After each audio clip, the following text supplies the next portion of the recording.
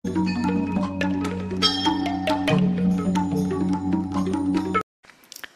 ကနေ့သာသနာတော်နှစ်2562ခုကောဇာတက္ကိ1389ခုနေယုံလာဇန်တရက်2019ခုနှစ်5လပိုင်း26ရက်တောက်ကြနေ့ညချမ်းခါကာလမှာရန်ကုန်တိုင်းဒေသကြီးမယံကုန်းမြို့နယ်ရှစ်မိုင် မစိုးရိမ်ရွှေကျင်ကျောင်းတိုက်တွင်မှာဆင်းရင်ကျင်းပကြတဲ့ဓမ္မဒါနဓမ္မပူဇာတရားပွဲတွေမှာဒီကနေ့ညဓမ္မဒါနကုသိုလ်ရှင်များဖြစ်ကြတဲ့တက္ကမကြီးဒေါ်နီနီလွင်မိသားစုတို့ရဲ့ဓမ္မဒါနကောင်းမှုကိုအကြောင်းပြုပြီးတော့အလုံးသောတရားနာပိသပေါင်းသူတော်ကောင်းတို့မြတ်စွာဘုရားဟောကြားတော်မူခဲ့တဲ့တရားဒေသနာတော်တို့ကိုနာယူကြည်ညိုခွင့်ရကြတယ်။ ဘုရားတို့လည်းပဲမြတ်စွာဘုရားဟောကြားတော်မူခဲ့တဲ့တရားဒေသနာတော်တို့ကိုဟောကြားခွင့်ရပါတယ်။ဒီတော့ဒီကနေ့ညတရားဒေသနာတော်တို့ကိုနာယူကြည်ညိုကြဖို့ရောက်ရှိလာကြတဲ့အလုံးသောတရားနာပိသပေါင်းသူတော်ကောင်းတို့ကိုအရင်တို့ဗာတရားဟောခြင်းတော့ဆိုလို့ရှိရင်နော်ဒီနေ့ကစပြီးတော့နောက်ထပ်9ညအလုံး6ညဒီမှာစက်တိုက်တရားပွဲများ စီမံထားကြတာဆိုတော့ဟောဦးဇင်းတို့ဗာတရားဟောရကောင်းမလို့လို့စဉ်းစားလိုက်တဲ့အခါမှာမြတ်စွာဘုရားလက်ထက်တော်ခါကာလကမထေမြတ်ကြီးတွေရဲ့အကြောင်းကိုပြောရရင်တော့ကောင်းမှာပဲလို့အဲ့လိုစိတ်ထဲမှာနောက်စဉ်းစားမိတဲ့အတွက်ကြောင့်အခါတဝကကြီးနှစ်ပါးဖြစ်တော်မူကြတဲ့ရှင်သာရိပုတ္တရာရှင်မမောဂလနောက်ပြီးတော့ရှင်မကတ္တပအ ရှင်အာနန္ဒာအရှင်အနုရုဒ္ဓအစရှိတဲ့နောက်မထေမြတ်ကြီးတွေရဲ့အကြောင်းကိုပြောဖို့ဦးဇင်းတို့စီစဉ်ထားပါတယ်ဟုတ်လားအဲ့တော့ဦးဇင်းတို့ဒီကနေ့ညစတင်ပြီးတော့ပြောမယ်မထေမြတ်ကြီးကနော်ရှင်သာရိပုတ္တရာမထေမြတ်ကြီးရဲ့အကြောင်းကိုပြောမှာပါလက်ရတော်ရာအရှင်သာရိပုတ္တရာမထေမြတ်ရဲ့အကြောင်းမထေမြတ်ကြီးရဲ့ဟောကြားခဲ့တဲ့တရားတွေမထေမြတ်ကြီးရဲ့ အကြောင်းတွေကိုမှတ်တမ်းတင်ထားတာတွေကအလွန်တရာမှများပြားတယ်။ဒါကြောင့်ဦးဇင်းတို့ဟောမယ်ဆိုလို့ရှိရင်တော့ရှင်သာရိပုတ္တရာမထေမြတ်တစ်ပါးနဲ့ပတ်သက်တဲ့အကြောင်းအရာကိုဟောပြောနိုင်မယ်ဆိုရင်ကိုတော့အများကြီးဟောလို့ရတယ်ပေါ့။သို့တော်လည်းပဲကျန်တဲ့မထေမြတ်တွေရဲ့အကြောင်းကိုပြောကျင်သေးတာဖြစ်တဲ့အတွက်ကြောင့်ရှင်သာရိပုတ္တရာမထေရမြတ်ကြီးရဲ့အကြောင်းကိုတော့ဦးဇင်းတို့နှစ်ညလောက်ပြောမယ်လို့စဉ်းစားထားပါတယ်ဟုတ်လားအဲ့တော့ဒီကနေ့ ရှင်သာရိပုတ္တရာမထေရမြတ်ကြီးရဲ့အကြောင်းအပိုင်း1လို့ဆိုကြပါစို့နော်အလုံးနာယူကြည်ညိုကြည်ကြရအောင်နော်ဒီတရားဒေသနာတော်ကိုမဟောကြားသေးခင်မနာကြသေးခင်မှာတရားတော်အလုံးကိုဟောကြားတော်မူခဲ့တဲ့ဘုရားရှင်ကိုရောမြတ်ရဲ့အင်မတန်အေးချမ်းကြည်လင်တော်မူတဲ့မဟာကရုဏာကိုသိစရာတရားလုံးစုံကိုသိတော်မူမြင်တော်မူတဲ့တပည့်ညုတဉာဏ်ဒီဟုသောပညာကို ထိုမဟာကရုဏာကိုပညာကိုနှစ်ပါးစုံတို့ဖြင့်ပြည့်စုံတော်မူတဲ့ဘုရားရှင်ကိုရောမြတ်ကိုယုတိမြတ်တို့ရှိခိုးပူတော်ကြအောင်စို့အလုံးလက်အုပ်ချီမှုပြီးတော့အာယုံပြုကြရအောင်ကရုဏာတိတလဟရယံပညာပိဇောတဝိယတမောဟတမံသာနေရမေရလောကကရုံဝန္တိသူကတံဂတိဝိမု ക്ത ံ ကရုဏာတိတလဟရယမဟာကရုဏာတော်ဖြင့်အိမြသောစိတ်နှလုံးလည်းရှိတော်မူပါပေထသောပညာပိဇောတဝိယတမောဟတမံအရဟတမတိဟုသောအယောင်အလင်းဖြင့်အဝိဇ္ဇာတိဟုသောအမိုက်မောင်းကိုဖယ်ခွာတော်မူ၏ထသောသာနေရမရလောကကရောလူနတ်မြမတတဝနန္ဒတို့ဤ ကြောက်တီတန်းတို့လေကရုပြုရာတရှူရီသောဆရာသခင်လည်းဖြစ်တော်မူပါပေထသောဂတိဝိမု ക്ത ံဒေဝမနုဿနေရယနှင့်ပေတတရိษံလာရအရှိငါတန်သောဂတိတို့မှလိတို့သဖြင့်ကင်းလွတ်တော်မူပြီးထသောဒုက္ကတံတတ္တဝါတို့အားအကျိုးများကြောင်းဟုတ်မှန်သောစကားကောင်းကိုသာမျက်ရှိတော်မူပါပေထသော ဗုဒ္ဓံသစ္စာလေးရတရားမြတ်ကိုလက်ပေါ်တင်တာဗရမ ्या ကဲ့သို့ပြတ်သားထင်တဲ့သိမြင်ပေတတ်ဖျားရှင်ကိုယ်တော်မြတ်ကြီးကိုမေယံတရားဟောပုဂ္ဂိုလ်တရားနာပုဂ္ဂိုလ်ခေါ်ဆိုပညတ်ပရမတ်မမူယုံနာနှဖျားဖြစ်ကြပါသောဘုရားတပည့်တော်တို့သည်ဟိုနေဝနာမှာကာယဝစီမနောကြည်၍သုံးဤဒွါရပနာမဖြင့် ဒုက္ခယောကျိုးလက်စုံမိုးကရှိခိုးဥညုပါဤမြတ်စွာဘုရား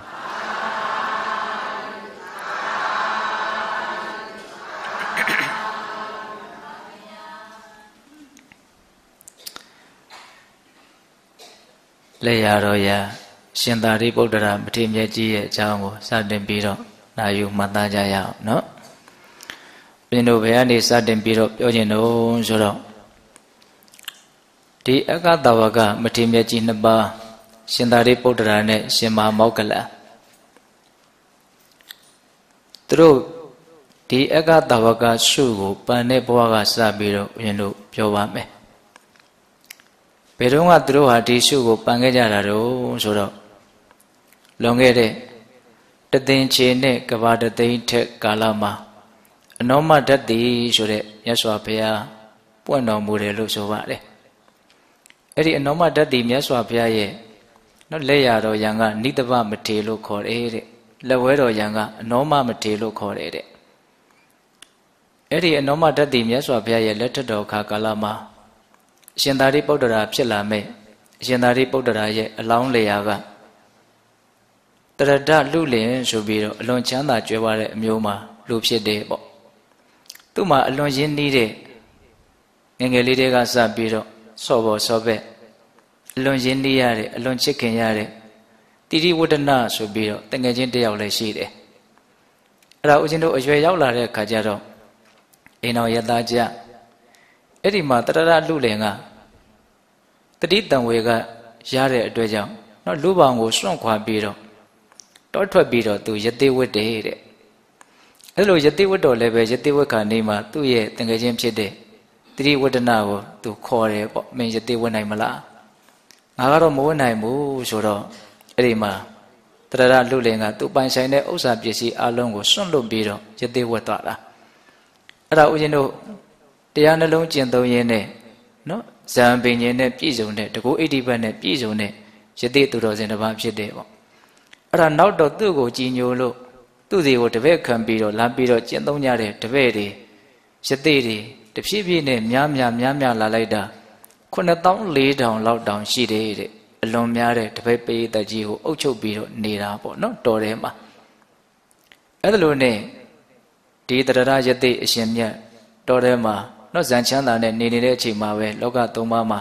အနောမတတ်တည်မြတ်စွာဘုရားပွင့်တယ်အဲ့ဒါဘုရားရှင်ကိုရောမြတ်ကြီးကတနေ့မှာဟောတပည့်ညုတဉာဏ်ကွန်ရက်ကိုဖြန့်ကျက်ပြီးတော့ကြည့်တဲ့အခါမှာ အဲ့ဒီတရရယတိရဲ့တပည့်ပေါင်း9400ကျွတ်တန်းဝင်မယ်ဆိုတာကိုသိတယ်မြင်နေတဲ့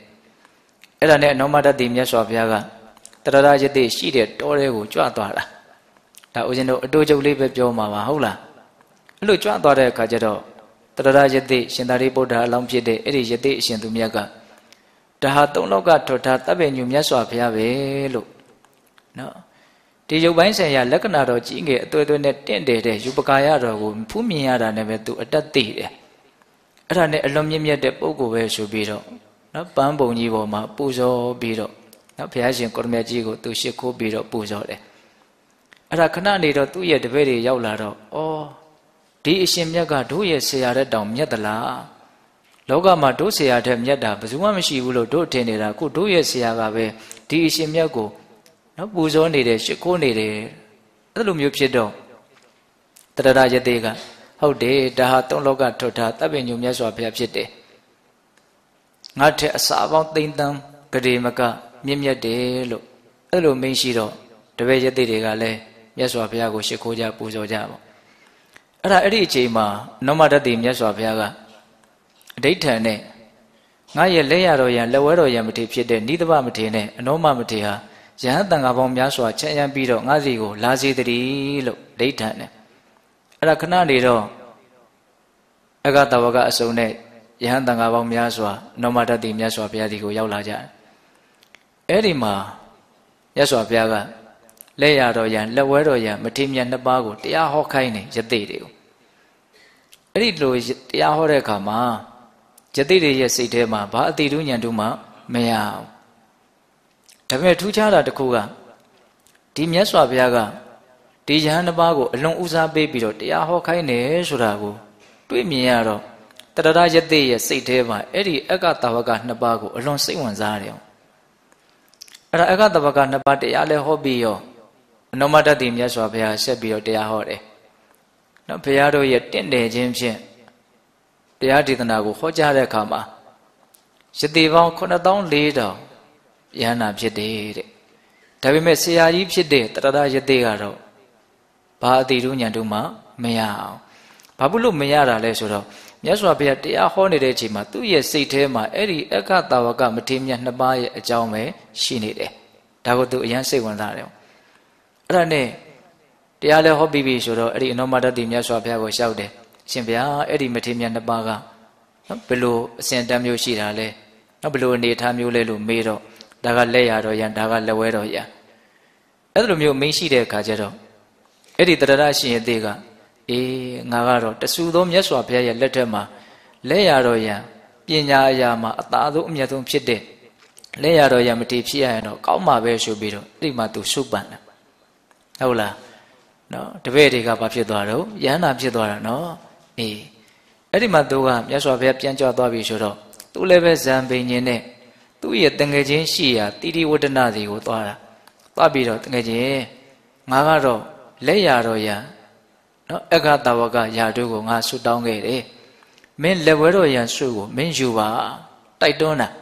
ဟုတ်လားအဲ့တော့ငါဘုရားနဲ့မရင်နေဘူးဆိုတော့ကိုင်းအဲ့ဒါငါကိစ္စရှိသေးမင်းစုပန်ဖို့ပဲလက်ဝဲတော်ရန်ဖြစ်ခြင်းနဲ့စိတ်ဆန္ဒရှိဖို့ပဲအရေးကြီးတယ်ဆိုတော့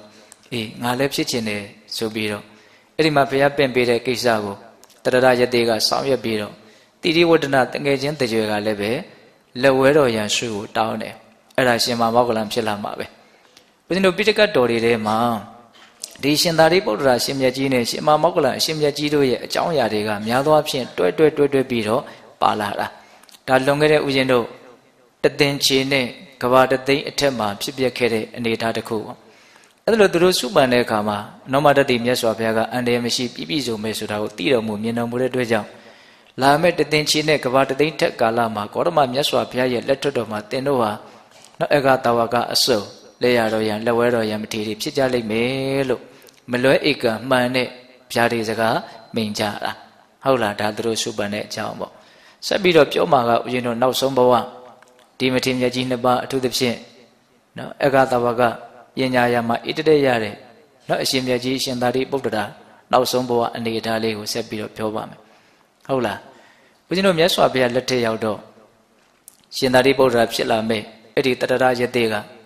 နော်ရာဇဂျိုမြို့ရဲ့အနေဥပတိတ်တရွာအဲ့ဒီရွာမှာနော်ရွာကြီးလို့ဆိုကြပါစို့အချမ်းသာဆုံးရွာကိုအုပ်စိုးရတဲ့နော်ဝင်ကန္တပုံနာဆိုတာရှိတယ်နော်သူ့ရဲ့ဒကမာကြီးကရူပတာရီပုံနေမလို့ခေါ်တယ် အဲ့ဒီရူပတာရီပုံနေမရဲ့ဝမ်းမှာနော်သွားပြီးတော့ဖြစ်တယ်မွေးဖွားလာတဲ့အခါကျတော့ဥပတိတ်တရွာမှာမွေးဖွားတဲ့အကြီးအကဲဖြစ်မှာဖြစ်တဲ့အတွက်ကြောင့်ဥပတိတ်တလို့ပဲနာမည်ပေးတယ်နော်မွေးခြင်းကဘယ်နှယောက်ရှိလဲဆိုတော့သူ့ရဲ့အောက်မှာညီ၃ယောက်ညီမ၃ယောက်ရှိတယ်ဟုတ်လားသူတို့ရဲ့အကြောင်းတွေကိုလည်းတစ်ချိန်မှာရှင်သာရိပုတ္တရာရဲ့နော်ညီညီမများရဲ့အကြောင်းကိုလည်းပဲနော်တရားတပုတ်ဟောဖို့ဦးဇင်းတို့စဉ်းစားထားပါတယ်နော်စာလာရဲ့ ဥပစာလာရဲ့တိတုပစာလာရဲ့ဆိုတော့ညီမ၃ယောက်ရှိတယ်ဟုတ်လားနော်ညီ၃ယောက်ကစုံဒရဲ့ဥပသေနရဲ့ရေဝဒရဲ့ဆိုပြီးတော့နော်ညီ၃ယောက်ညီမ၃ယောက်ရှိတယ်အားလုံးအဲ့ဒါရှင်မြတ်ကြီးရဲ့အစွမ်းကြောင့်သာသနာ့ဘောင်ဝေယံပြုပြီးတော့အကုန်လုံးယန္တာဖြစ်ကြတာဟုတ်လားသူတို့ရဲ့အကြောင်းကလည်းပဲစိတ်ဝင်စားစရာကောင်းပါတယ်အဲ့တော့ဦးဇင်းတို့ရှင်မောကလံဖြစ်လာမဲ့ပုံကိုကတော့နော်အဲ့ဒီရာဇဂိုမြို့ရဲ့အနေက နော်ကောလိတဆိုတဲ့ရွာမှာမောက်ကလီပုံနေမရဲ့ဝမ်းမှာသွားပြီးတော့ဖြစ်တယ်ဒါရှင်မောကလံဖြစ်လာမှာပဲဟုတ်လား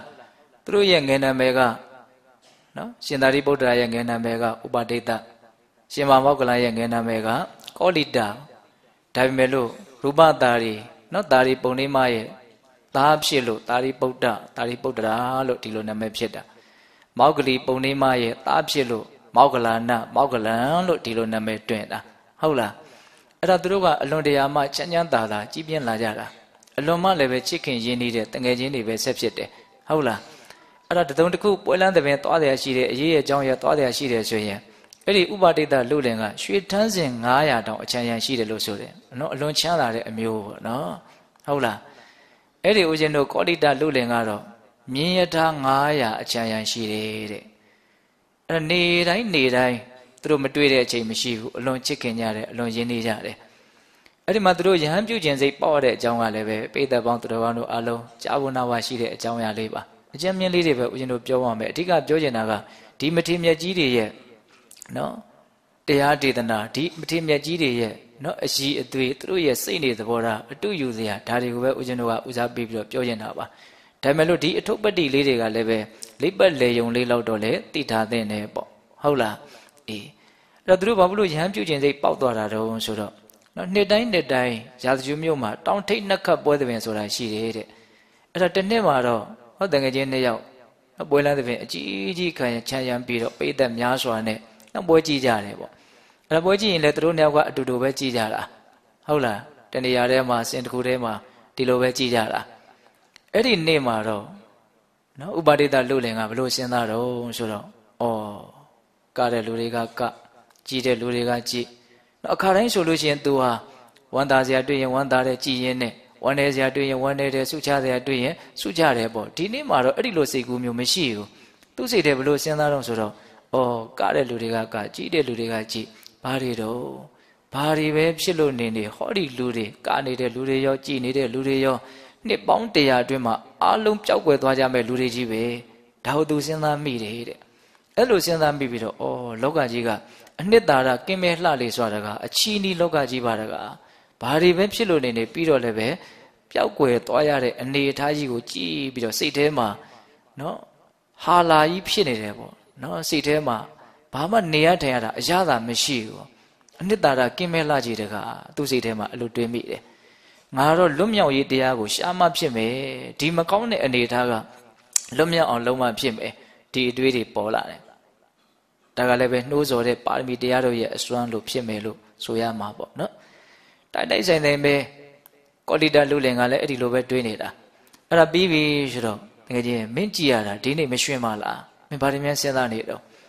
ပြောပြတယ်ငါဒီလိုဒီလိုစဉ်းစားမိတယ်တိုက်ဆိုင်လိုက်တာငါလည်းဒါပဲစဉ်းစားနေတာအေးအဲ့လိုဆိုရင်တို့နှစ်ယောက်ဘာလုပ်မလို့အဲ့လိုဆိုလို့ရှိရင်အိယာတီထောင်လွတ်ပေါင်ကိုစွန့်ပြီးတော့တို့ယဟန်ပြုကြမယ်နော်အဲ့ဒီချိန်မှာမြတ်စွာဘုရားမပွင့်သေးဘူးနော် ဟုတ်လားဒါနဲ့တို့ပစုတီကိုယဟန်ပြုမလို့ဆိုတော့အဲ့ဒီခေအဲ့ဒီခါကအဲ့ဒီအချိန်ခါတုန်းကနော်ဘုရားဆိုပြီးတော့နာမည်ကြီးနေတဲ့နော်အချမ်းရံဒီအလွန်များပြီးတော့အလွန်နာမည်ကြီးနေတဲ့သိင်းကြီးဆရာကြီးဆိုတာရှိတယ်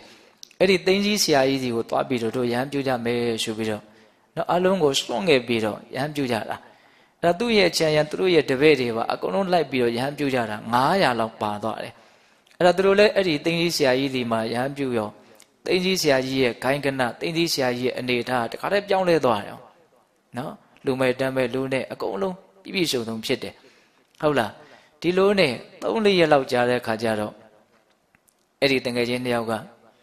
တို့ဒီသိင်းကြီးဆရာကြီးရဲ့အယူဝါဒထဲမှာနော်ဘာမှအနှစ်သာရရှိတာကိုမတွေ့ရဘူးနောက်ထပ်လည်းထပ်ပြီးတော့ဘာမှသင်ယူစရာလည်းမရှိတော့ဘူးဒါပေမဲ့လို့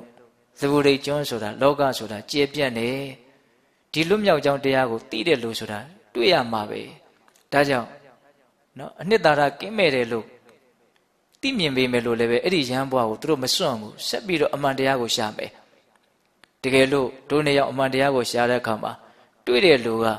နော်အရင်တွေ့တဲ့လူကနောက်လူကိုလာပြီးတော့ပြောတကြီးဆိုပြီးတော့ဂတိကိုလည်းထားကြတယ်ပေါ့နော်အဲ့ဒီလိုနဲ့ဦးဇင်းတို့ကာလတစ်ခုရောက်လာတဲ့အခါမှာမြတ်စွာဘုရားရှင်ကိုရမေကြီးပွင့်လာတယ် နောက်ပြင်စဝဂီ9ဦးဆိုတာလည်းပဲတရားဦးကိုနာပြီးတော့ယဟနာဖြစ်ကြတယ်လို့ဆိုကြပါစို့ဟုတ်လားအနတ္တလက္ခဏာတုတ်ရဲ့နော်နာပြီးဒီရဲ့ခြားမဲ့မှာအလုံးယဟနာဖြစ်ကြတယ်အဲ့ဒီပြင်စဝဂီ9ဦးထဲမှာတဦးအပါဝင်ဖြစ်တဲ့ရှင်အတ္တစီဟုတ်လားအဲ့ဒီရှင်အတ္တစီနဲ့တွေ့တာဥပါဒေတာရှင်သာရိပုတ္တရာကိုရမြတ်ကြီးရဲ့ဖြစ်လာမဲ့ပုံကိုကရှင်အတ္တစီကိုတွေ့တာတွေ့တဲ့အခါကျတော့အမူအရာကိုကြည့်တယ်မျက်နှာကိုကြည့်တယ် ပင်ကိုယ်ကလည်းဉာဏ်ပညာထက်မြက်တဲ့ပုံကိုဖြစ်တဲ့အတွက်ကြောင့်အော်ဒီလောက်ငြိမ်သက်တဲ့ပုံကိုရဲ့တန်တာမှာမသေးရအမတ္တဓာတ်အမြိုက်နိဗ္ဗာန်တိတဲ့စိတ်တိတဲ့ဉာဏ်ဧကန္တရှိလိမ့်မယ်မှတ်မိတယ်ဟုတ်လား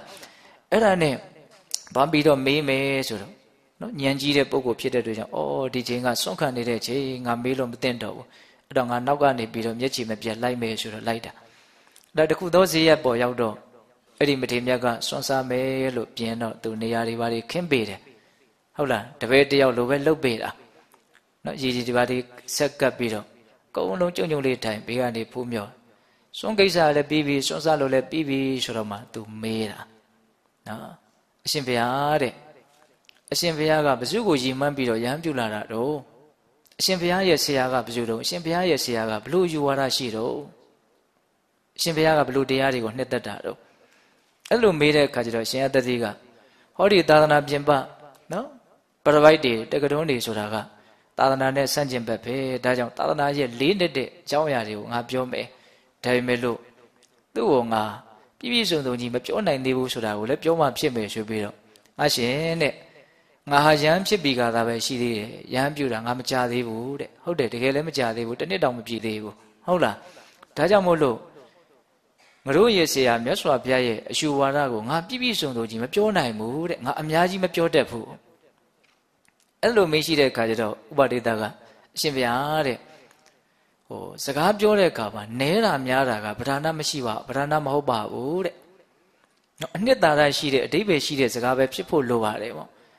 ပြောမဲ့တာဝန်ကအရှင်ဘုရားရဲ့တာဝန်ပြောတာပြောလိုက်ပါနီးပေါင်းအရာမကအထောက်မကနဲ့ခွဲချင်းဝေဖန်ပြီးတော့တိဖို့ရာကတပည့်တော်ရဲ့တာဝန်ပါ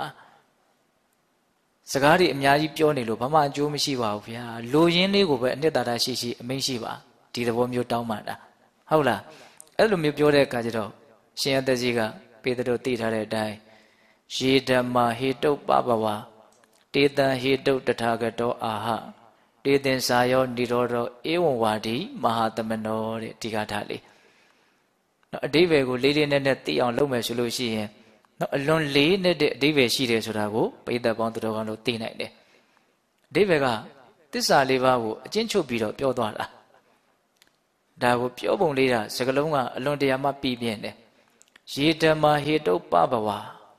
ဟောဒီလောကကြီးမှာဖြစ်ပေါ်နေတဲ့သဘာဝတရားတွေဟာအကြောင်းတရားကြောင့်ဖြစ်တာပါတဲ့အကြောင်းပဲဖြစ်တာဘာမှမရှိဘူးနော်ရေဓမ္မဟေတုပဘဝဘယ်လိုသဘောတရားပဲဖြစ်ဖြစ်အကြောင်းတရားကြောင့် ဖြစ်တာပါတဲ့ဒီလောကကြီးမှာဖြစ်နေတဲ့တရားတွေတေတံဟေတုတထာဂတောဟာအဲ့ဒီအကြောင်းတရားကြောင့်ဖြစ်နေတဲ့အဲ့ဒီတရားတွေရဲ့အကြောင်းတရားကိုမြတ်စွာဘုရားဟောတယ်တဲ့ဟုတ်လားဒါဘာကြောင့်ဖြစ်တာလဲဆိုတဲ့အကြောင်းတရားကိုမြတ်စွာဘုရားဟောတယ်ဒါတွေမကဘူးတဲ့တေသင်္စာရောဏိရောဓအဲ့ဒီအကြောင်းအကျိုးသဘာဝကြီးရဲ့ချုပ်ရာနော်အဲ့ဒီချုပ်ချင်းတို့ရောက်စေတတ်တဲ့နော်နီလန်နော်ဒါတွေကိုလည်းပဲမြတ်စွာဘုရားဟောပါတယ်တဲ့ တေသင်္စာရောဏိရောဓဧဝံဝါဒီမဟာသမနောနော်ယဟန်မြတ်ဖြစ်တော်မူတဲ့တို့ရဲ့မြတ်စွာဘုရားဒီလိုဟောပြောတဲ့အလေးရှိတယ်ဒါဒီကဒါလေးကိုလူငယ်တွေနားလည်အောင်ဦးဇင်းတို့ပြောရမယ်ဆိုလို့ရှိရင်နော်တဘာဝတရားတွေဆိုတာအကြောင်းတရားကြောင့်ဖြစ်တာဆိုတာအဓိကသဘာဝတရားတွေဆိုတာဒီခန္ဓာဒီဘဝကြီးကိုယဉ်ညွန်းတာဟုတ်လားဒီဒုက္ခတရားတွေဟာဘာကြောင့်ဖြစ်တာလဲအကြောင်းမဲ့ဖြစ်တာမဟုတ်ဖန်ဆင်းထားလို့ဖြစ်နေတာလည်းမဟုတ်အကြောင်းရှိလို့ဖြစ်တာတဲ့ အဲ့ဒီအကြောင်းကဘာလဲဆိုတဲ့လောဘဆိုတဲ့အကြောင်းပဲဖြစ်ခြင်းနဲ့လိုခြင်းနဲ့ရခြင်းနဲ့ဆိုတဲ့လောဘဆိုတဲ့အကြောင်းတရားကြောင့်ဒီဒုက္ခကြီးဖြစ်တာဒီဒုက္ခတွေဘာကြောင့်ဖြစ်တယ်လဲဆိုတဲ့အကြောင်းတရားကိုလည်းမြတ်စွာဘုရားဟောတယ်ဒါနော်အဲ့ဒီအကြောင်းတရားကြောင့်ဖြစ်နေတဲ့အဲ့ဒီဒုက္ခသစ္စာဒီအကြောင်းအကျိုးတစုံသမုဒယနဲ့ဒုက္ခပေါ့နော်ဒါတွေရဲ့ချုပ်ရာနိဗ္ဗာန်ဒါကိုလည်းမြတ်စွာဘုရားဟောတယ်အဲ့ဒီနိဗ္ဗာန်ရအောင်ဘယ်လိုလုပ်ရမလဲဆိုတဲ့အကျင့်လန်းစဉ်ကိုလည်းမြတ်စွာဘုရားဟောပြတယ်တဲ့ နော်ဟောပါတာလေးဒီမျိုးနဲ့ပြောတာနော်တဘာဝတရားတွေဟာဗာလေအကြောင်းကြောင့်ဖြစ်တာအဲ့ဒီအကြောင်းကိုမြတ်စွာဘုရားဟောတယ်အဲ့ဒီအကြောင်းအကျိုးချုပ်ရာကိုလည်းမြတ်စွာဘုရားဟောတယ်ချုပ်အောင်ဘယ်လိုလုပ်ရမလဲဆိုတဲ့နီလန်းကိုလည်းမြတ်စွာဘုရားဟောပြတယ်အဲ့ဒီဂါထာလေးလည်းပြောလိုက်ရောနော်ဂါထာမဆုံးသေးခင်မှာဂါထာက၄ပါးတာရှိတယ်ပထမနှစ်ပါးတာရဲ့အဆုံးမှာသောတပတ္တိမဉ္ဇဉ်ကိုရတယ်တဲ့နော်ဥပဒိတဘလောက်ဉာဏ်ပညာထက်လဲဆိုလို့ရှိရင် နောက်နောက်နှစ်ပါးတာကသောတပန်ဖြစ်ပြီးမှသူနာယူလိုက်တာဘာပဲဖြစ်ဖြစ်ဖြစ်စရာအကြောင်းရှိလို့ဖြစ်တာဒါကိုသူသိသွားတဲ့အခါကျတော့အော်အကြောင်းတရားချုပ်ရင်အကျိုးတရားချုပ်မှာပဲဒါဘုရားဆက်ပြီးတော့ဘာဖြစ်သွားတော့သိသွားတာနော်ပုဂ္ဂိုလ်တ attva သဘောမဟုတ်ဘူးဆိုတာကိုသိတယ်ဖန်ဆင်းတာလို့ဖြစ်နေတာမဟုတ်ဘူးအကြောင်းမဲ့ဖြစ်နေတာမဟုတ်ဘူးလို့လည်းသိတယ် တက္ကာယဒိဋ္ဌိကိုတခါတည်းအမြင့်ပြတ်ပယ်ရှားနိုင်တဲ့ဉာဏ်ကိုရသွားတာဘလောက်ထက်မြက်တဲ့ဉာဏ်ရှိလဲဆိုတာကိုစဉ်းစားကြည့်နော်အဲ့ဒီဂါထာလေးကိုနာနော်သောတာပန်ဖြစ်တယ်အဲ့ဒီလိုသောတာပန်လည်းဖြစ်ပြီဆိုတော့သူဘာလျှောက်တုံဆိုတော့အရှင်ဘုရားတဲ့တပည့်တော်ရှားနေတဲ့နော်မသေးရတရားဆိုတာဒါပဲတဲ့ဒါကြောင့်ခဏလေးဆိုင်းမအောင်ဘုရားတဲ့တပည့်တော်ရှားနေတဲ့တရားဒီတရားပဲအခုတပည့်တော်တိလိုက်တဲ့တရားတပည့်တော်ရှားနေတဲ့တရားပဲတဲ့နော်အရှင်ဘုရားတို့ကတော့ နော်အမတတ်မသေးရအမြိုက်နိဗ္ဗာန်ကိုရရှိတော်မူကြပြီတပည့်တော်တို့မှာတော့နော်ကဘာပေါင်းများစွာဒီအမှန်တရားဒီချမ်းသာနိဗ္ဗာန်တရားကိုမသိဘဲနဲ့ကုံလွန်ခဲ့ရတယ်တဲ့ဒါပေမဲ့သူသောတာပန်ဖြစ်သွားပြီနော်ဟုတ်လားအဲ့ဒီလိုအမင်းအဲ့ဒီလိုအလျှောက်ပြီးတော့အရှင်ဘုရားနော်ဆက်ပြီးတော့မဟောပါနဲ့哦တပည့်တော်မှာအလွန်ချစ်ခင်ရင်းနေတဲ့တငယ်ချင်းတယောက်ရှိပါတယ်နော်ဂတိကိုလည်းထားထားတာရှိတယ်ဒါကြောင့်သူ့ကိုတပည့်တော်သွားပြီးတော့ပြောရအောင်မယ်ဆိုပြီးတော့နော်အဲ့ဒီရှင်အသက်ကြီးကို တပည့်တော်တို့ရဲ့ဆရာမြတ်စွာဘုရားဘယ်ဒီမှာရှိပါသလဲဆိုတာတခါတည်းမေးပြီးတော့သူဘယ်သွားတော့ဆိုတော့နော်ရှင်မမောက်ကလန်လောင်းရှိတဲ့နေရာနော်ကောလိတနော်ပြပိုက်ရှိတဲ့နေရာကိုသူသွားတာဟိုရောက်တော့ကောလိတကတိတယ်ငါရဲ့တငယ်ချင်းဒီကနေ့ရှာနေတဲ့မသေးရတရားကို तू တွေ့ခဲ့ပြီဆိုတာကိုသိတယ်ဘာဖြစ်လို့သိတာလဲဆိုတော့အမှုအရာနဲ့မျက်နှာအနေထားကိုကြည့်ပြီးတော့သိတာ तू လည်းဉာဏ်ကြီးတဲ့ပုဂ္ဂိုလ်တယောက်ပဲလေအဲ့တော့သိနိုင်တဲ့ အနေအထားလေးတွေကလည်းပဲတော့တင်ရှားမယ်လို့ဦးဇင်းထင်တယ်။ဘာလို့ဆိုတော့နော်ရှားနေရတဲ့အနေအထားနဲ့တွေ့သွားတဲ့အနေအထားဟာဘယ်လိုမှမတူနိုင်ဘူး။ဟုတ်လား။ရှားနေတဲ့အနေအထားနဲ့ကိုရှားတာတွေ့သွားတဲ့အနေအထားတူနိုင်မလား။မတူနိုင်ဘူးနော်။မျက်နှာကြီးကြီးလေးလေးတန်တန်ရှင်းရှင်းနဲ့နော်အလိုပြည့်နေတဲ့သဘောကပေါ်လွင်ထင်ရှားမှုရှိနေမယ်လို့ဦးဇင်းထင်တယ်။ဟုတ်လား။ဒါကြောင့်မို့လို့စီးပြီးတော့မေးတာဟိုကဘာမှမပြောသေးဘူးပဲ။နော်ဟာရှင်တဲ့မင်းဟိုဒီနေ့ကြည့်ရတာ ရှားနေတဲ့တရားရခဲ့ပုံရပြီသိခဲ့ပုံရပြီဟုတ်သလားအဲ့တော့ဟိုကလည်းဟုတ်တယ်တဲ့ငါရခဲ့ပြီဟာအဲ့လိုဆိုလို့ရှိရင်ငါ့ကိုပြောပါအဲ့ဒီမှာအဲ့ဒီဂါထာလေးကိုပဲထပ်ပြီးတော့ဟောတာဟောတစ်ချိန်မဟောလိုက်တာကိုသူတခါတည်းရရနော်ဟုတ်လားအဲ့ဒီဂါထာကိုထပ်ပြီးတော့ဟောတာအဲ့ဒီဂါထာကိုလည်းနားထောင်လဲပြီးရောအဲ့ဒီကောလိတကလည်းပဲသောတာပန်ဖြစ်တယ်ဟောတကယ်ချင်းနှစ်ယောက်လုံးသောတာပန်ဖြစ်ကြတယ်နော်သောတာပန်ဖြစ်ပြီဆိုကိုင်းတို့ဘလို့လုံးမလို့ အဲ့ဒီမှာကောလိတကတော့စိတ်မြန်ကိုမြန်ပဲရှင်မမောက်ကလန်ကသူ့ရဲ့အကြောင်းအရာတွေကိုပိဋကတ်တော်ထဲမှာခက်မြန်မြန်ခက်ကြမ်းကြမ်းပဲတွေ့ရတယ်ဟုတ်လားရှင်သာရိပုတ္တရာကအလွန်နူးညံ့သိမ်မွေ့ပြီးတော့အလွန်သိခန္ဓာကိုတွေ့ရတယ်တော့ရဟန္တာဖြစ်ပြီးတဲ့နောက်မှာတောင်မှတော့ဇေယိုက်ကလေးတွေကတိတ်ပြီးတော့မတူဘူးဟုတ်လားအဲ့တော့ရှင်မမောက်ကလန်အလောင်းဖြစ်တဲ့အထိကောလိတာကသွားမယ်တဲ့မြတ်စွာဘုရားရှိတဲ့နေရာကိုတခါတည်းသွားတော့မယ်ဒါပေမဲ့ဥပဒိတာကအလုံးမဟုတ်နေအောင်တဲ့ သိင်ကြီးဆရာကြီးတို့ဆရာကြီးရှိသေးတယ်ဒါကြောင့်တို့ဆရာကြီးကိုခေါ်မယ်တကယ်လို့နော်ငါတို့ကိုယုံကြည်လို့လိုက်လာမယ်ဆိုရင်လေဟိုရောက်ရင်မြတ်စွာဘုရားတရားဟောရင် तू သိနိုင်တယ်ကောင်းရဲ့ဒါကြောင့်သူ့အတွက်ငါအကျိုးရှိသေးခြင်းနဲ့သူကလည်းတို့ပုံမှာကြည်သူရှိတာပါပဲဒါကြောင့်သူ့ကိုခေါ်ရအောင်ဆိုဆိုတော့ကောလိတာလည်းမငြင်းဘူးအဲ့ဒါနဲ့တကယ်ချင်းနှစ်ယောက်အဲ့ဒီရှင်ရှင်သိန်းစည်းဆရာကြီးရှိတဲ့နေရာကိုသွားပြောပြတယ်အကျိုးကြောင့်သိန်းစည်းဆရာကြီးကလည်းသိတယ်ဗျာစားတဲ့ဦးချင်းဖတ်ကြည့်တယ် မင်းတို့ရှာနေတဲ့တရားမင်းတို့တွေ့တယ်နဲ့တူတယ်တဲ့မေးတယ်ဟုတ်တယ်တွေ့ပြီတဲ့ဟောရှာတာကိုပါလဲတွေ့ပြီဒါကြောင့်မလို့နော်အရှင်လည်းပဲမြတ်စွာဘုရားကြီးကိုလိုက်ခဲ့ပါအဲ့လိုခေါ်တာဗျခေါ်တဲ့အခါကျတော့တင်းစီဆရာကြီးကဘာပြောဆိုမလိုက်နိုင်ဘူးတဲ့ဟာဘာဖြစ်လို့မလိုက်နိုင်တာတော့ငါအိုးစီကြီးဘဝနဲ့နေပြီးတော့မှနော်အိုးငယ်လေးနဲ့ခတ်ထရတဲ့အိုးငယ်လေးအဖြစ်ကို ငါအယောက်မခံနိုင်ဘူးတဲ့ငါကအခုဆရာကြီးလုပ်ပြီးတော့နေရတာငါတပည့်တွေနဲ့နေရတာဟိုရောက်ရင်ငါတပည့်ဖြစ်မှာနော်ဆရာလုပ်ပြီးတော့မှငါတပည့်အဖြစ်နဲ့မနေနိုင်ဘူးတဲ့အဲ့လိုပြောတာနော်အဲ့လိုပြောတဲ့အခါကျတော့နော်ဥပဒိတာကအရှင်စဉ်းစားပါဦးစဉ်းစားပါဦးနော်အမှန်တရားဆိုတာအရာအလုံးနဲ့တန်ဖိုးရှိတယ်နော်စဉ်းစားပါဦးလိုက်ခဲ့ပါအခုကျွန်တော်တို့ကသွားမယ်ဆိုလို့ရှိရင်ကျွန်တော်တို့ရဲ့အချမ်းရံတွေကလည်းလိုက်လာမယ် အဲ့ဒီလို့ဆိုရင်ဒီမှာအများကြီးအားနေသွားလိမ့်မယ်အရှင်လည်းလိုက်ခဲ့ပါအဲ့တော့တင်းကြီးဆရာကြီးကဘာပြောလို့ဆိုတော့အားတပည့်တို့မင်းတို့ကငါပြောမယ်တော့ဒီလောကကြီးမှာပညာရှိတဲ့လူနဲ့ပညာမဲ့တဲ့လူဘယ်တင်းကများလဲတဲ့ဟာပညာမဲ့တဲ့လူကများတာပေါ့အေးအဲ့လိုဆိုလို့ရှိရင်ပညာရှိတဲ့လူတွေရဟန်းဂေါတမတီကိုသွားလိမ့်မယ်ပညာမဲ့တဲ့လူတွေငါဒီမှာနေလိမ့်မယ်ဒါကြောင့်ငါဒီမှာလူမရှိမှပိတ်သက်မရှိမှမင်းတို့မပူနဲ့တဲ့ဟောဒါလည်းဟုတ်တာပဲနော် လူတိုင်းလူတိုင်းကိုယ့်ဟာလေးနဲ့ကိုတော့အတိုင်းနဲ့အဝိုင်းနဲ့ရှိနေတာပဲဟုတ်တယ်မဟုတ်လားအေးအဲ့လိုပြောလို့သာပြောတာပါအဲ့ဒီကောလိတာနဲ့ဥပဒိတသွားပြီဆိုတော့နော်တငယ်ချင်းတွေသူတို့ကိုအကြောင်းပြုပြီးတော့ပြပိုက်ရဟန်းပြုနေတဲ့ပုံကိုယ်တွေ250လောက်နော်လိုက်သွားကြတာ250လောက်လိုက်သွားဆိုဒီမှာတော်တော်ကိုလူကြီးကနဲသွားတပည့်တွေကအဲ့ဒီတော့ဘာဖြစ်တုံးဆိုတော့တိန်ကြီးဆရာကြီးဟာခရွင်းကနေပြီးတော့လောလောပူသောသွေးထွက်ကြလာတယ်တဲ့သွေးအန္တာ မခံနိုင်ဘူးပေါ့နော်ဒီလောကဓာတ်ကို तू မခံနိုင်ဘူးတော့သေတော့သေမသွားဘူးနော်ဒါပေမဲ့ပါဇက်ကနေပြီးတော့သွေးပူပူတွေထွက်လာတယ်ကြောက်စရာပဲစိတ်ရဲ့နော်နှိမ့်နယ်မှုနှိမ့်ဆက်မှုကိုနော်ရုပ်ပိုင်းဆိုင်ရာခံရတာပါဇက်ကသွေးတောင်ထွက်တယ်ဟုတ်လားအဲ့ဒီမှာဦးဇင်းတို့တလက်စာရဲပြောချင်တာကဒီအကြောင်းအရာတွေကိုအကြောင်းပြီးတော့နောက်တစ်ချိန်မှာမြတ်စွာဘုရားကကာထာနှစ်ပုတ်ဟောထားတာရှိတယ်ဓမ္မပဒပါဠိတော်မှာမှတ်တမ်းတင်ထားတာအတာရိတာရမတိနောတာရိစာတာရဓတ္တိနာ တေတာရနာတိကိစ္ဆန္တိမိစ္ဆာသင်္ကပ္ပကောစရာနော်ဒီလောကကြီးမှာအနှစ်သာရမရှိတာကိုအနှစ်သာရရှိတယ်လို့ထင်နေကြတယ်အနှစ်သာရမရှိတာကိုအနှစ်သာရရှိတာကိုအနှစ်သာရမရှိဘူးလို့ပြောင်းပြန်ထင်နေကြတယ်နော်အနှစ်သာရမရှိတာကိုတော့အနှစ်သာရရှိတယ်လို့ထင်တယ်အနှစ်သာရရှိတာကိုတော့အနှစ်သာရမရှိဘူးလို့ထင်နေကြတဲ့ပုံကိုယ်တွေဟာအဲ့ဒီအနှစ်သာရကို तू မရနိုင်ဘူးတဲ့။ဘာလို့ဆိုမိစ္ဆာသင်္ကပ္ပဂောစတာ